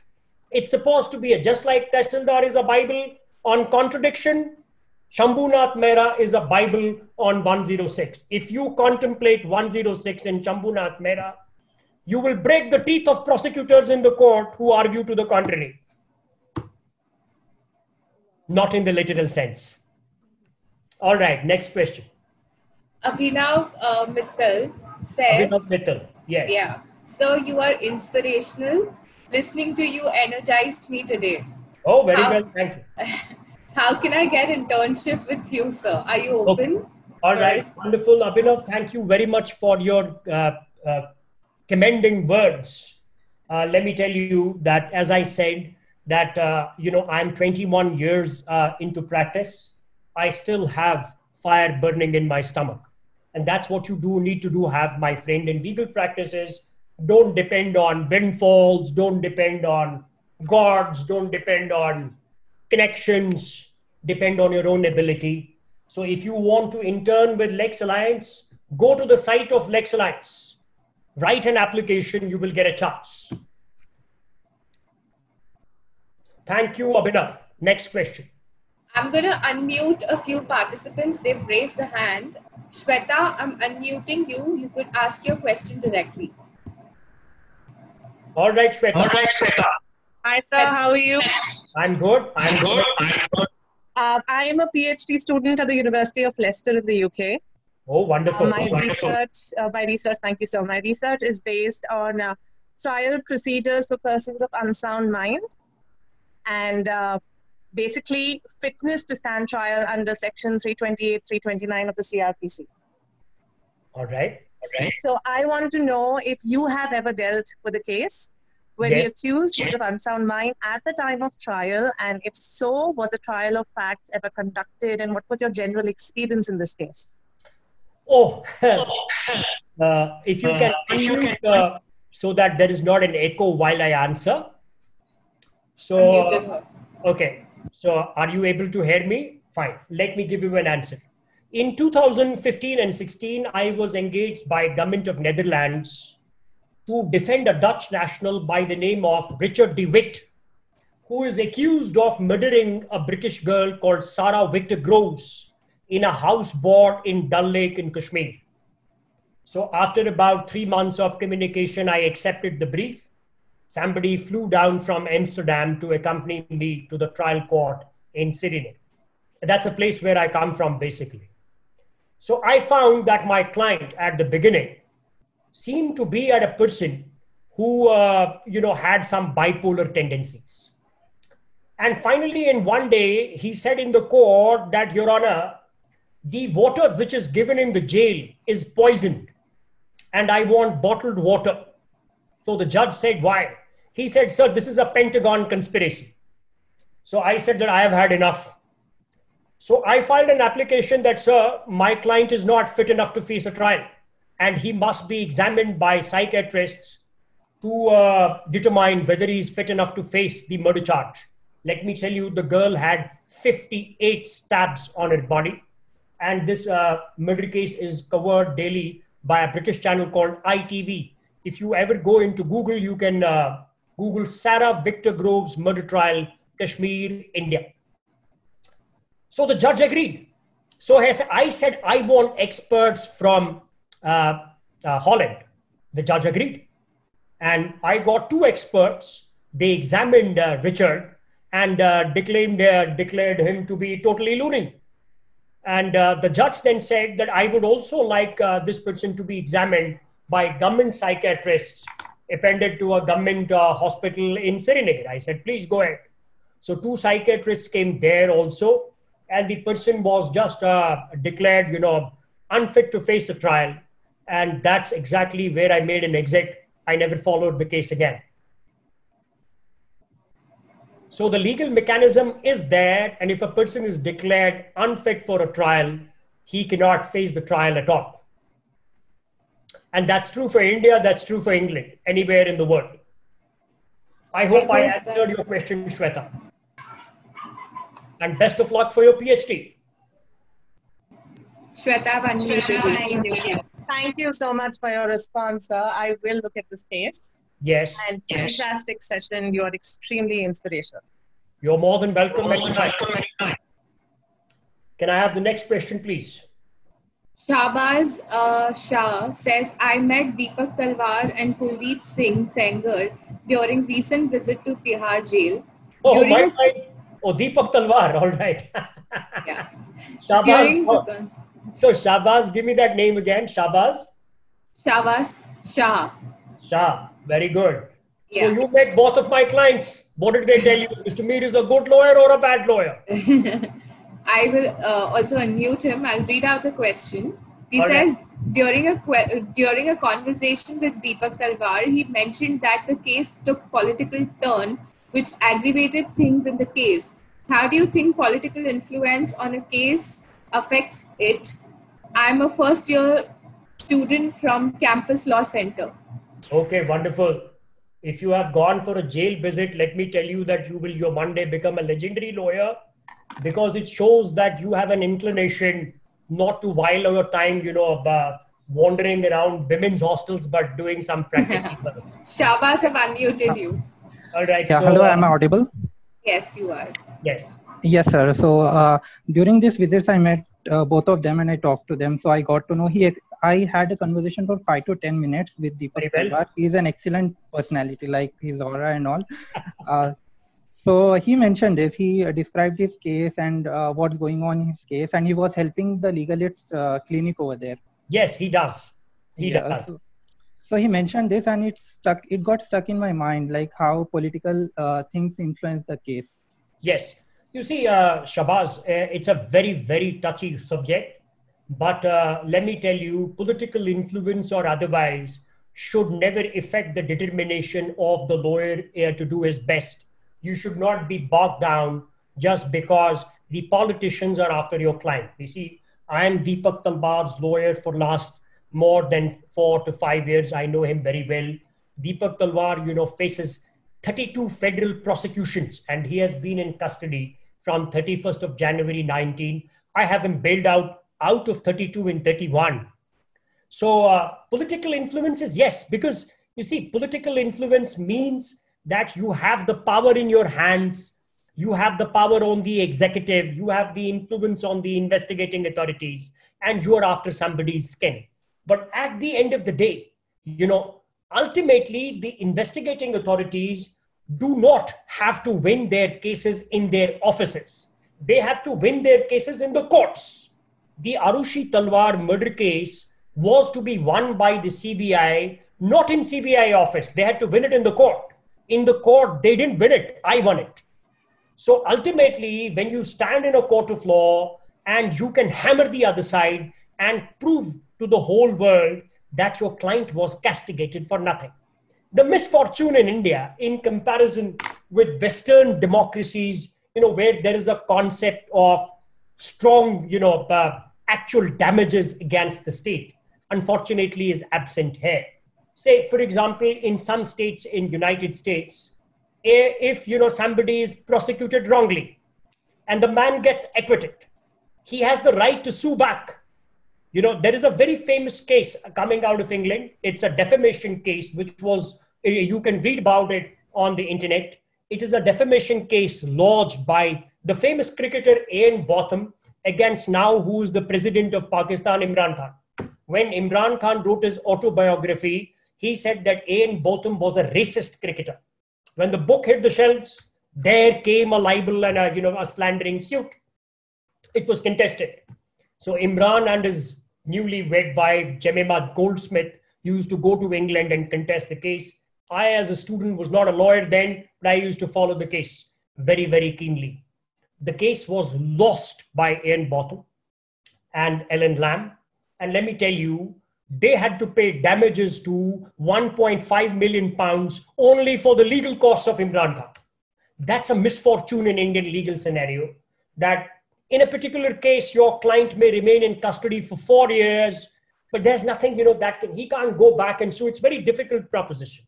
Political influence is there. It is there in Deepak Talwar's case. I know it. He knows it. But what is there at the end of the day is my grit, his grit to fight it out and to fight it out till the last. And that's what I believe in. And I feel that, you know, you will also do it and imbibe these qualities all your life. Thank you, Shahbaz. Keep up your good work of going to Tihar jail and getting the first-hand experience of how things work in law on practical ground reality. I hope I have answered your query. Can I have the next question? A book uh, which every law student must read. It's Akash. I can't read the entire name because there are a lot of numbers. But yeah, Akash says, so what book could, could every lawyer read? Well, if you want to see it on the lighter sense, read the book called as Law is an Ass. Wow. Uh, could you mention who's the author? Oh, I, I forget, but it's up up my rack. You will find it on the net anywhere. Well, read anything, you know, uh, read anything. You know, it, it's not sort of, you know, uh, let me tell you, the legal profession is very myriad. It's very large. It's an ocean. A lawyer, for example, I am a trial lawyer. So I have to have expertise not only in law. Sometimes I am a ballistic. Sometimes I am a DNA. Sometimes I am a voice expert. Sometimes I am an internet expert. So uh, you have to, uh, my friend, read everything depending upon what hits you. And that's the beauty of the profession. The beauty of legal profession is that it is not mundane. Every challenge is emphatic. You know, it's so inspiring. Every case gets a new challenge, gets a new sets of persons, you know, gets you to see a different people in different circumstances and that's that's what you really relish it's not like you know going to the office again and punching the same computer or like for what like for example a banker does. And that's a challenge. So my friend there is a lot to read and a uh, lot not to read. It's all up to you. And uh, read whatever you like. And most important is that uh, uh, you know a, a lawyer whether a trial lawyer or otherwise cannot be an introvert. You have to be an extrovert. You have to meet people. You have to make friends. You have to come up to me. You have to come to my office have a cup of tea. You have to take an initiative because uh, mostly you know for me i don't have time. But you have to take the plunge. So you have to take the first step. Thank you sir. Archit here says that law is a, as uh, is a book by ronald eyring yeah. Okay. i heard it once so all right. Yeah, yeah. Question? not many more questions. Mohit uh, here says that how to get permission to visit the crime scene where the site has been blocked by the authorities from the public access. Very easy, very easy, Mohit. Very easy, very easy. The crime scene is blocked only in the initial part of the investigation so that the crime scene is not mutilated or trampled upon. But you know, our Indian police, you know, particularly uh, coming from various states, they are great criminal investigators. Say, for example, in Aarushi Talwar, in Noida, in that apartment, even the buffaloes crimed, uh, you know, on the crime scene. So you could see the ability of the Noida cops. Everybody trampled upon, and everybody did whatever they have to do. So a lawyer can also go down and visit, but uh, uh you know, the uh, uh, that is in a lighter way, and that's all over the net uh, hundreds of people on the crime scene, you know, mutilating the crime scene. But you can definitely, if the crime scene is blocked or if it is barricaded, but it can't be barricaded forever. So you can file an application with the magistrate and say that, sir, I am the defense lawyer. I have the right to go and visit the crime scene and I should be given an opportunity to do so. And you are the master of the trial and the every investigating officer works under your jurisdiction. And why not? So this is my question. I wanted yes. to ask you since the beginning. Um, yes. So when the client comes to you, what is the state of mind when you know the clients come, and how do you deal with them? Because there's a lot of emotional turmoil and a lot of things that happen. Yes. How do you deal with that? Well, mostly the clients come up to me when they have you know sort of you know been rogered all over the place. So uh, you know, and uh, they see me as a last resort. But yes, uh, uh, you know, the client comes in a great emotional anxiety and he has a lot of pain around him and he has a hope. And, you know, hope is a great thing. It sees the invincible, conquers the invincible. And uh, therefore, you know, he instills his hope in you. and he sees you uh, as uh, somebody who's God sent and uh, he seeks help from you. So you have to take care of his emotional anxiety as well. But you don't have to give him, you know, guarantees and you have to tell him that this will be done, this will not be done. You have to tell him that you will try your best. But these are the mechanisms. Like, for example, in my uh, practice of 21 years, I've never offered a guarantee to the client, even when I know that the work will be done because that's not what we do. All my see, lawyers will not give guarantees. Uh, some other people will, you know, and, but they're not lawyers. So uh, yes, you have to uh, give him a bit, bit of a bit of a sucker on his emotional anxiety, but you also have to show him the reality. You know, uh, somebody being indicted, say, for unlawful activities act, uh, will not get bail for two and a half years you know, and we know it very well. Somebody indicted for a murder will not get bail for three years four years, or sometimes may not get a bail for the whole trial at all. Ultimately, a trial lawyer, what he does is that if three years down the line, once the trial has begun, the trial comes to an end, you should be on the exit gate, not on the inner gate of the jail. Correct. Wow, that's that's brilliant, sir. Thank you so much. All right. Uh, moving on, uh, Sheroy, um, I am unmuting you. You could ask your question. All right. Give me the Uh, name. Sheroy. Uh, hello, sir. Uh, Hello. Uh, yeah, uh, this is Shiroy Budhanwala. I'm a practicing advocate at the Bombay High Court. Wonderful. Uh, so, so I just wanted to know, uh, you know, since you're in the criminal uh, uh, field, Yes. uh, something that really fascinates uh, a person is this a witness turning hostile. Somebody yes. you bring, Yes. and that person somersaults on you during the course of the trial. yes. How do you how do you handle a, a witness like that? yes. uh, do you get him impeached? And if so, could you enlighten us on how this impeachment would work? Yeah, Sheroy, uh, wonderful, very good question. You know, for a defense counsel, if the witness turns hostile, or there is, uh, you know, a, a, a cake to cut because, uh, you know, if the witness will go hostile, he will be a witness of the prosecution. Usually, for a defense witness, never goes hostile because a defense witness, the lawyer always prepares. But yes, Yeah. you know, sometimes even a hostile witness is very dangerous for the defense counsel because, say, for you, when does a witness goes hostile? A witness who is formally, fundamentally a prosecution witness turns turtle on his original recorded statement and now tends to side with the accused. But sometimes the witnesses are buffoons. Sometimes even a hostile witness will give, you know, some admissions which will hurt you then you know you will be under an incumbent obligation to take that witness you know to cleaners you will have to cross examine hard because as a defense counsel it will be your obligation to see that every witness who comes from the prosecution goes empty handed so for a defense lawyer a hostile witness is good news but for a prosecutor it is very bad news. But yes hostile witness, if he goes hostile on a statement under 164, he is in for an indictment. The judge can convict him.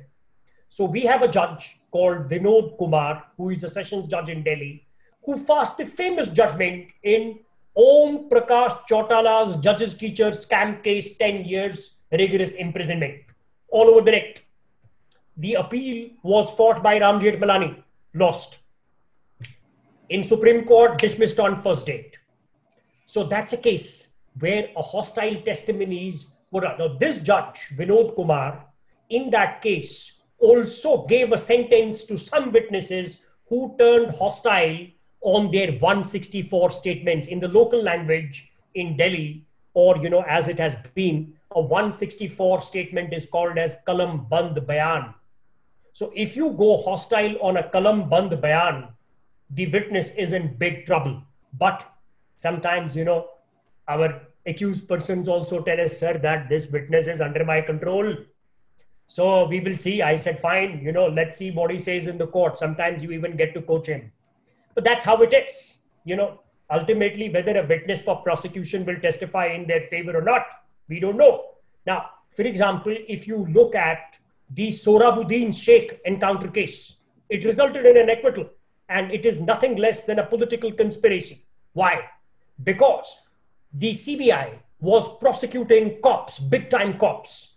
They had important witnesses. Strangely, in a case as huge as Sohrabuddin Sheikh encounter case, none of the statements had statements under 164. तो 161 के बयान पे तो आप जब मर्जी तब बदल दो but if a witness turns hostile on a 164 he is in for an indictment one of the biggest reasons for Sohrabuddin Sheikh encounter case to get acquitted is that strangely the investigating authorities as Shahbaz said quote unquote political influence in a case as high as that where you have accused DG you have an accused IPS of Sangyan Pandian IAS office IPS IPS officer Rajasthan cadre main accused jail में आठ साल रहा बरी हो गया गवाह जो है अपने बयानों पे पलट गए लेकिन केस के विवेचक ने या इन्वेस्टिगेटिंग अथॉरिटी ने अहम गवाहों के बयान तो कलम बंद करे ही नहीं that's a very convenient way to say that look we will prosecute you but we will also pave a way a path for your acquittals i hope i answered your question shreya Yes, sir. Yeah. Yes, sir. Yeah. Thank you, sir. Thank so, you. with a, uh, I say, a tangy mixture of certain things which are uh, legal reality these days. Next question, please.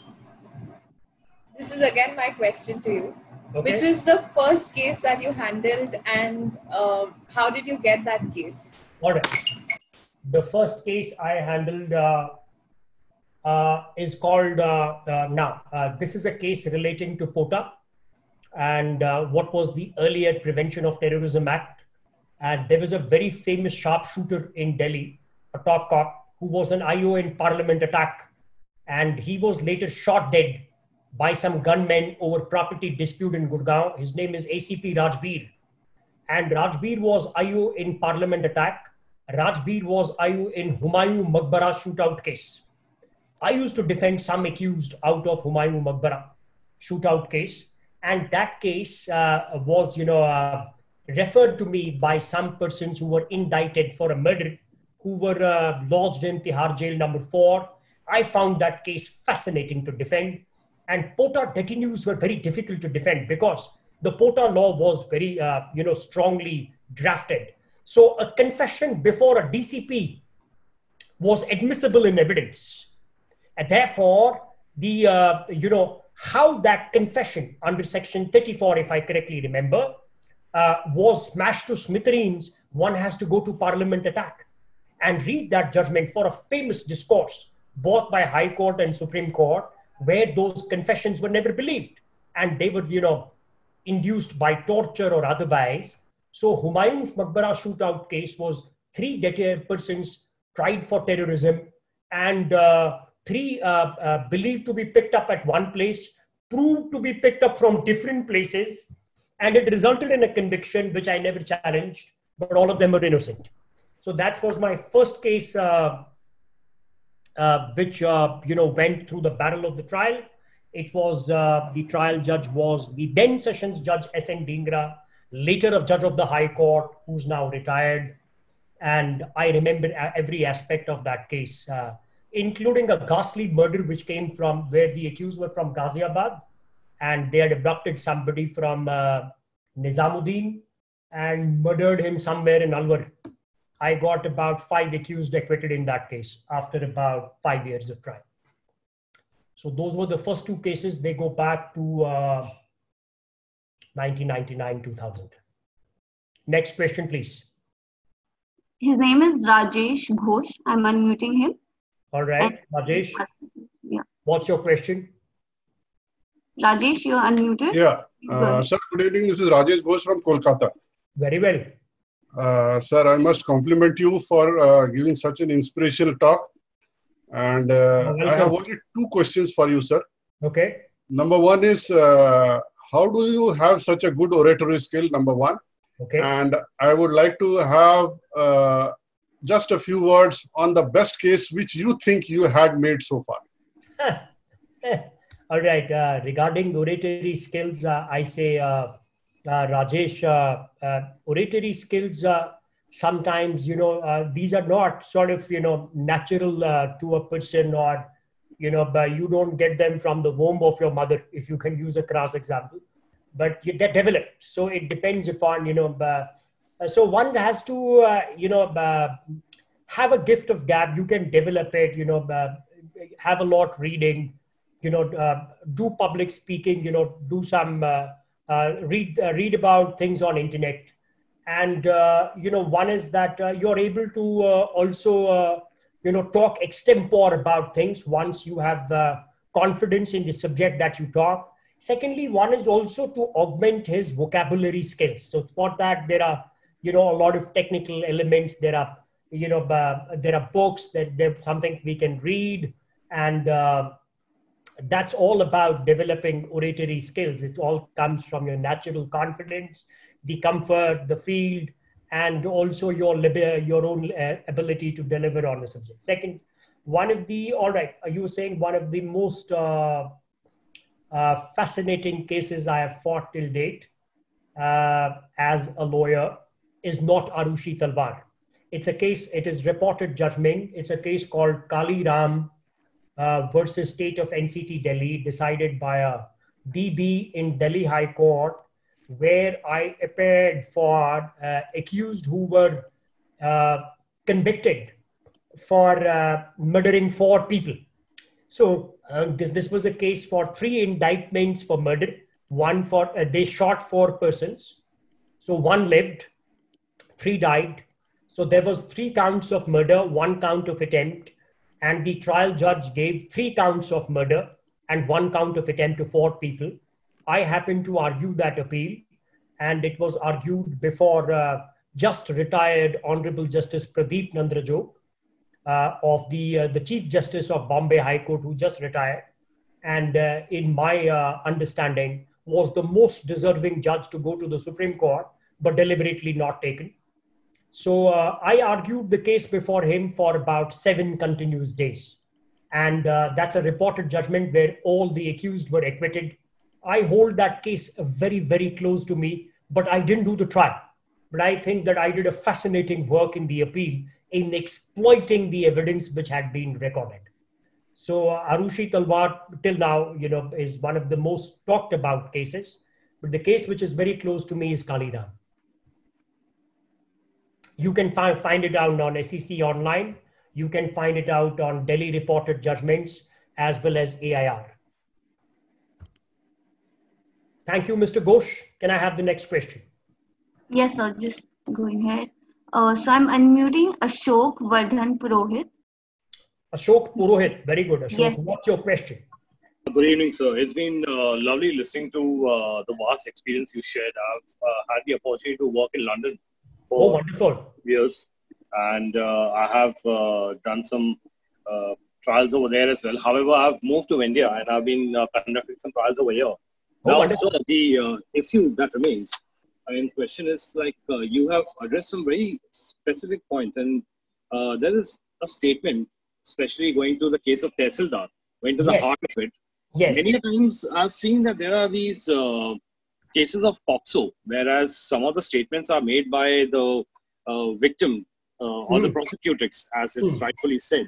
Mm. And the statements vary when mm. the statement is made before a magistrate where a statement is made before uh, the police officers along mm. with uh, their parent mm. or guardian, and when they come and they're actually deposing before the court. So yes. is that omission what about with the contradiction of the statements from uh, the statement before the magistrate or from the statement before the uh, police? All right. Ashoka, uh, very, very important question. Uh, first of all, I would like to congratulate you that you have practiced in England and you have exposure of two different continents under your belt already. I'm sure that you will do very well in your life. yes, you know, uh, Tehsildar remains the Bible. Tehsildar is borrowed from common law concept. It comes from British law, adopted in India. And, uh, you know, I recently did Kuldeep Singh Sengar, uh, and it's a POCSO indictment. Yes. And uh, I've done a number of uh, strong POCSO cases. So, uh, you know, the POCSO is a special legislation, and the courts in POCSO cases, you know, uh, you know, go with an attitude uh, of being very, very friendly to the uh, victim. Uh, not, we should say that we are biased, but they, the victim always has an edge in a trial court. Absolutely. But at the same time, you know, both the statement recorded by the police officer under 161, which is an unsigned statement, and a 164 statement, which is a signed statement before a judicial magistrate, you know, both are not substantive pieces of evidence. And both of us will agree on that. And these are, uh, you know, statements which can only be used for confrontation or corroboration, as the case may be. So, uh, POCSO doesn't take anything away from Tehsildar. POCSO also does not take anything away from the fundamental postulate that it is the prosecution which has to prove the case against the accused. But POCSO has two deadly uh, statutory burdens. One is a burden on the accused that once the, the allegation is made, the burden to disprove the case shall entirely be on the accused. And second is you will prove this burden beyond reasonable doubt. Now, the second uh, burden is there also in NDPS Act, and it is also in the Black Money Act. Now, normally the law all over the world is that if a burden statutorily is put on an accused, he is to discharge that burden only on preponderance of probabilities. So, preponderance of probability means to prove a civil case before a civil judge. Yes. And but in these statutory indictments, in these enactments, the burden on the accused is to prove his innocence beyond reasonable doubt. It's a very huge burden to discharge. Mm-hmm. Fundamentally, you know, if the, the witness makes a contradiction with a police statement or a magisterial statement, and in the estimation of the court, that contradiction, quote unquote, confrontation, quote unquote, goes to the root of the matter, then that part of the testimony has to be expunged from judicial consideration. And that's the law. So POCSO has not demolished, it has not taken away the basic fundamental criminal postulate covenanted under section 162, read with 145. 162 CRPC, read with 145 of the Indian Evidence Act. But yes, POCSO is strong reverse burden legislation. The legislature has enacted it. Supreme Court has upheld it.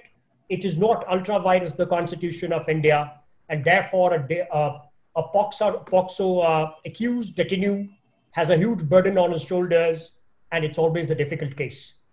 Right, sir. So uh, I'll just continue my question, if, if uh, with your uh, permission.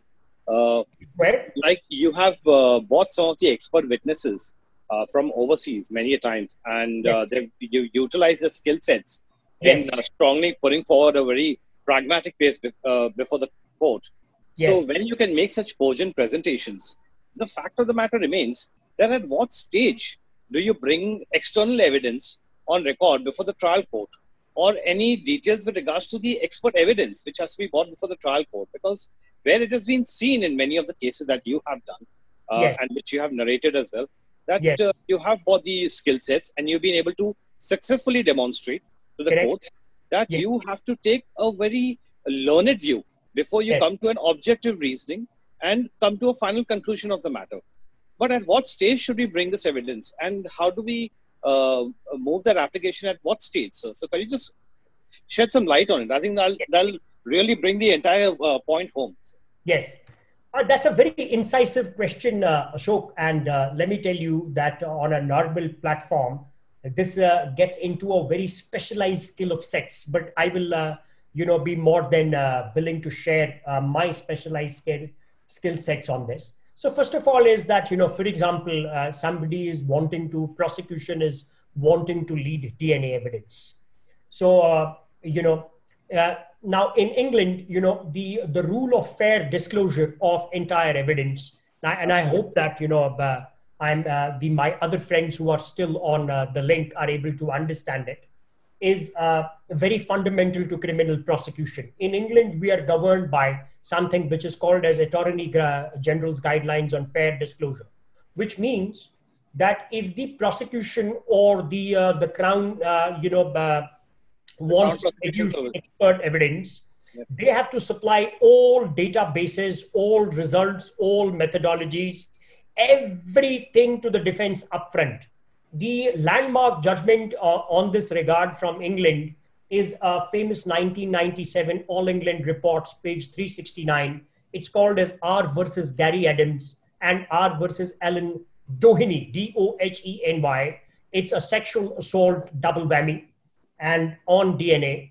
And the, the House of Lords in that judgment said that look here, if you are relying upon DNA, you give your databases, you give your calculations, you give your electropherograms, you share video worksheets as well upfront with the Defense Counsel. This is what happens in England. Right. In India, you will get nothing. You will only get the final chart. Wow. So there is a huge battle I have to fight, and I have fought just like I told you in Aarushi Talwar. The first battle was to get the databases. Now, without the database, a defense DNA expert is as good as a cropper. If he does not have the DNA basis, if he does not have the databases, he will not be able to analyze the report. He will not be able to analyze the evidence and to give you a contrary opinion. So the first fight is on fair and full disclosure. For this, most of the time, whenever I am with CBI, you know, I am always at loggerheads because the CBI never gives you exculpatory evidence which they collected during the course of investigation. So you have to first fight it out almost every time up to the High Court to get the position of exculpatory evidence or all scientific data databases which the prosecution witnesses or experts will rely upon.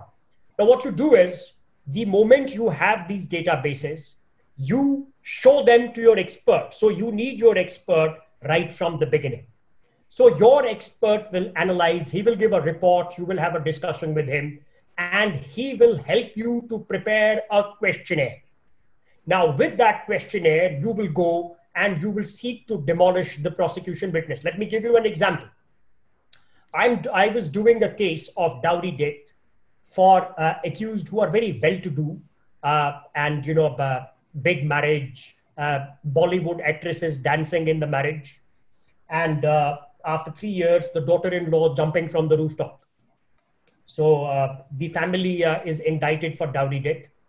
And uh, there is a forensic expert who says that there are 16 injuries. He's a MD in forensic science from All India Institute of Medical Sciences. He has a big report. He has his analysis, and he's a very, very strong man in his own field. So I go to an expert, show the report, show his basis, and an expert, you know, says that this guy is a fool and uh, he helps me to prepare a cross examination.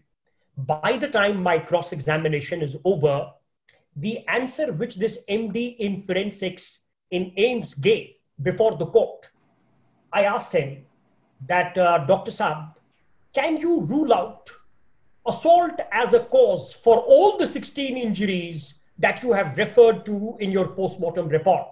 He said, Sir, I cannot rule out. That's the achievement. And that can only be possible in two ways. Either you have your expert right from the beginning, he works with you, but don't forget, don't commit the mistake of famous Pandit R.K. Naseem. You need your expert in defense as well, because ultimately it's a diamond who cuts a diamond. I hope I answered your query, Ashok, and uh, you must give me a call and have a cup of tea with me anytime. Certainly. So I do come down to Delhi and I do visit the Supreme Court as well quite often. So uh, I think it'll be a pleasure, sir. We, will certainly be connected. I'll get in touch with Thank you. very much. Have a nice evening. evening. It's been an amazing session, sir. All the oh, way best. Wonderful. Wonderful. Very. Oh, where do you practice? Uh, sir, uh, what I do is I practice uh, across the globe. I've got a few clients in Canada, oh, wonderful. Uh, uh, in London and in India. So in India, I'm pulled around. I've worked, uh, fortunately, on some of the you know famous cases like Asharam Bapu, where I was prosecuting, hmm. and and uh, people like Arun Gavli, Michael Ferreira, we've we've worked on some really good matters and I've had some brilliant. I did go down to Bombay and argue Indrani Mukerjea's bail about four occasions. All right. So uh, not with the success at this time, but uh, uh you know, uh, I look forward to meet you sometime. Certainly. Have a nice evening. You as well, sir. You as well. Thank you very much. Next question, please. So, um, would you like to continue with the webinar or? Oh, the... I'll answer some more questions though quickly, and then I will also, you know, give my email. So yeah. most of my friends can post their questions, you know, in the email, and I will always answer those. All right, sir. So yeah. um, when I got disconnected, there were a few questions. Uh, I still have those, so I will continue with those. One of the students says, I don't know what's the name, but it says, Am I phone? The question is, Sir, thank you for such an inspirational session. I have a question. Is there anything the complainant can do to ensure that police and prosecutor do their job well? Mm-hmm. Because if the prosecution is not diligent, the complainant should suffer if the case is genuine. Very good question. Uh, whoever is uh, the person though you should not call yourself as mi phone though uh, yes you know the complainants you know oftenly we see you know a others you know we are third world countries most of the people are poor. Sometimes you know uh, they cannot afford lawyers to stand as complainant counsels. Complainant counsels though do not have a great locus in state prosecutions but they certainly have a locus. And if you have a good complainant counsel he has the right of assistance to the prosecutor and he can also stand behind the prosecutor like you know a watchdog so that the prosecutor also does his job properly. Like in uh, you know uh, in this recent uh, Kuldeep Singh Sengar's case uh, there was a, a complainant counsel uh, who did his work diligently though he was a menace to me because most of the time when I was doing my work he was trying to you know create circumstances where I get shattered here and there. But I think you know he was hot on the heels of the prosecutors and he did this job as a complainant counsel very well. Complainant counsel always helps. But then you know at, he has to have his involvement in the case. That's for everybody. So uh, you should not shy away from taking a complainant brief as well if it comes your way. Can i have the next question? Yes sir.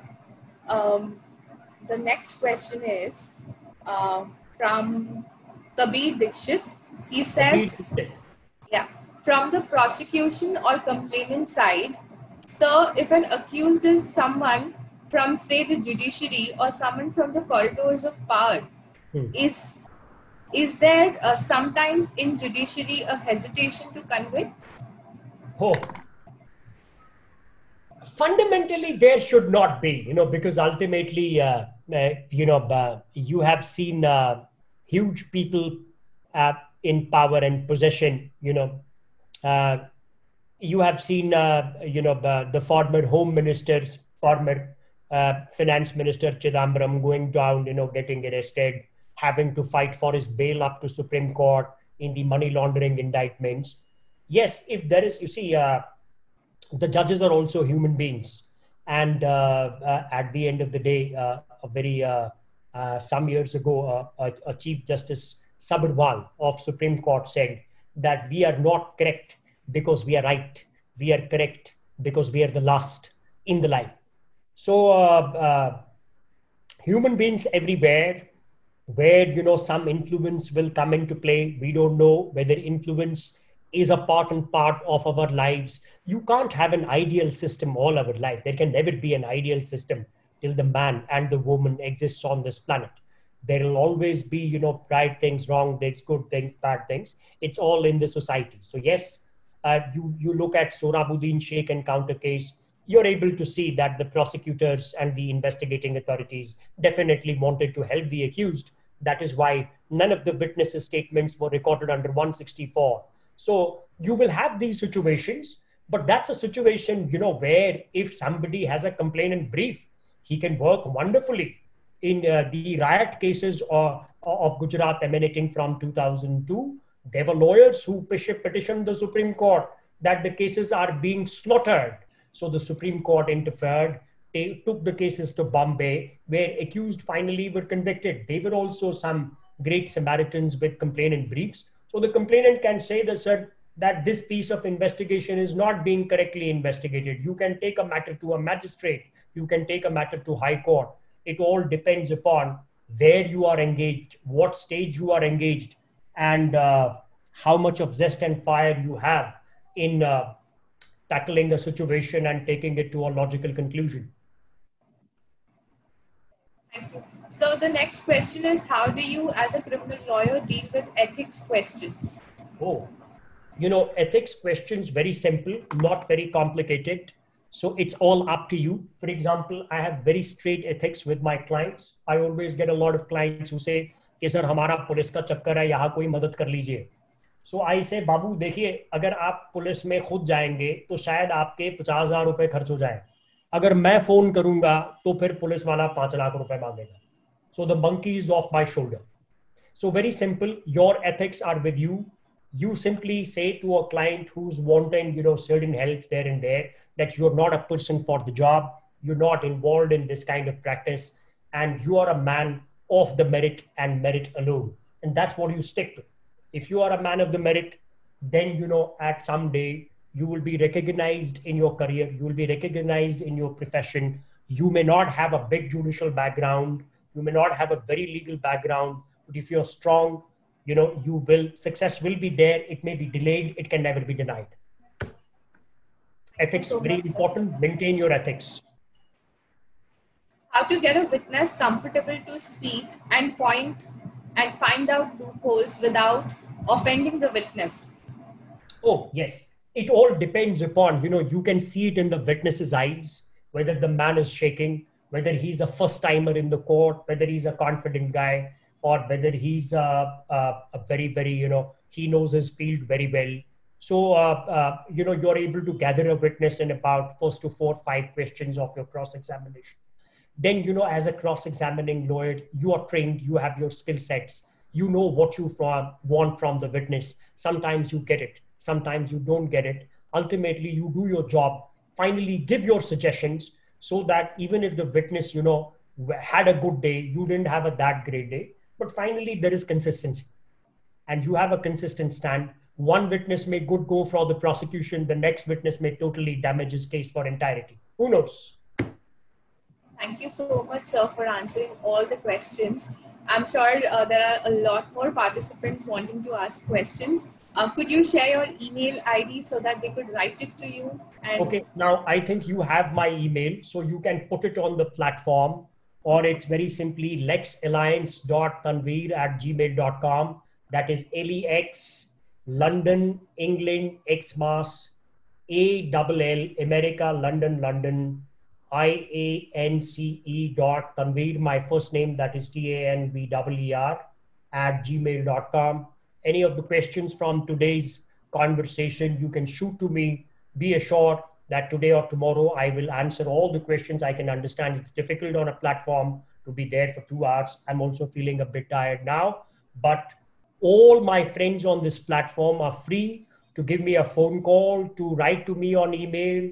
If you are in Delhi, you can seek an appointment with me, come to my office, have a cup of tea with my office you can meet me in the court you can join me in some interesting work that i'm doing i can you know take you to the court sometime along with me and that's how we do it so i would like to uh, uh, give my parting thoughts so uh, thank you ruchika Thank you, Abhishek. Thank you so much, sir, for uh, coming good over. Good luck to you with your lawsikho.com. Thank you. And, Thank you so much, all sir. the participants and uh, uh, it's always a story of I inspiring you are more than you inspiring me. I think I have uh, talked to some wonderful people today and some great interaction. I think I have also learned, and that's the attitude we have. We learn all our life, and what we learn, we pass it on to the incoming lawyers, and that's the way the legal profession is. It's not that on my skill sets, I don't have a trade trademark,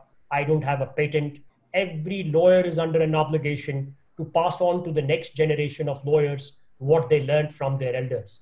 So thank you very much. Have a nice evening. so much, sir. Was, thank you so much for your precious time. It was it was the brilliant session. Anytime. Thank you thank so you much. Thank you. I'll leave the meeting. Thank you very much. Thank you. Thank you so much, everyone, for joining. Uh, feel free to drop your questions on the email sir has given you, and you could also reach out to us on LinkedIn or the WhatsApp groups. Thank you so much.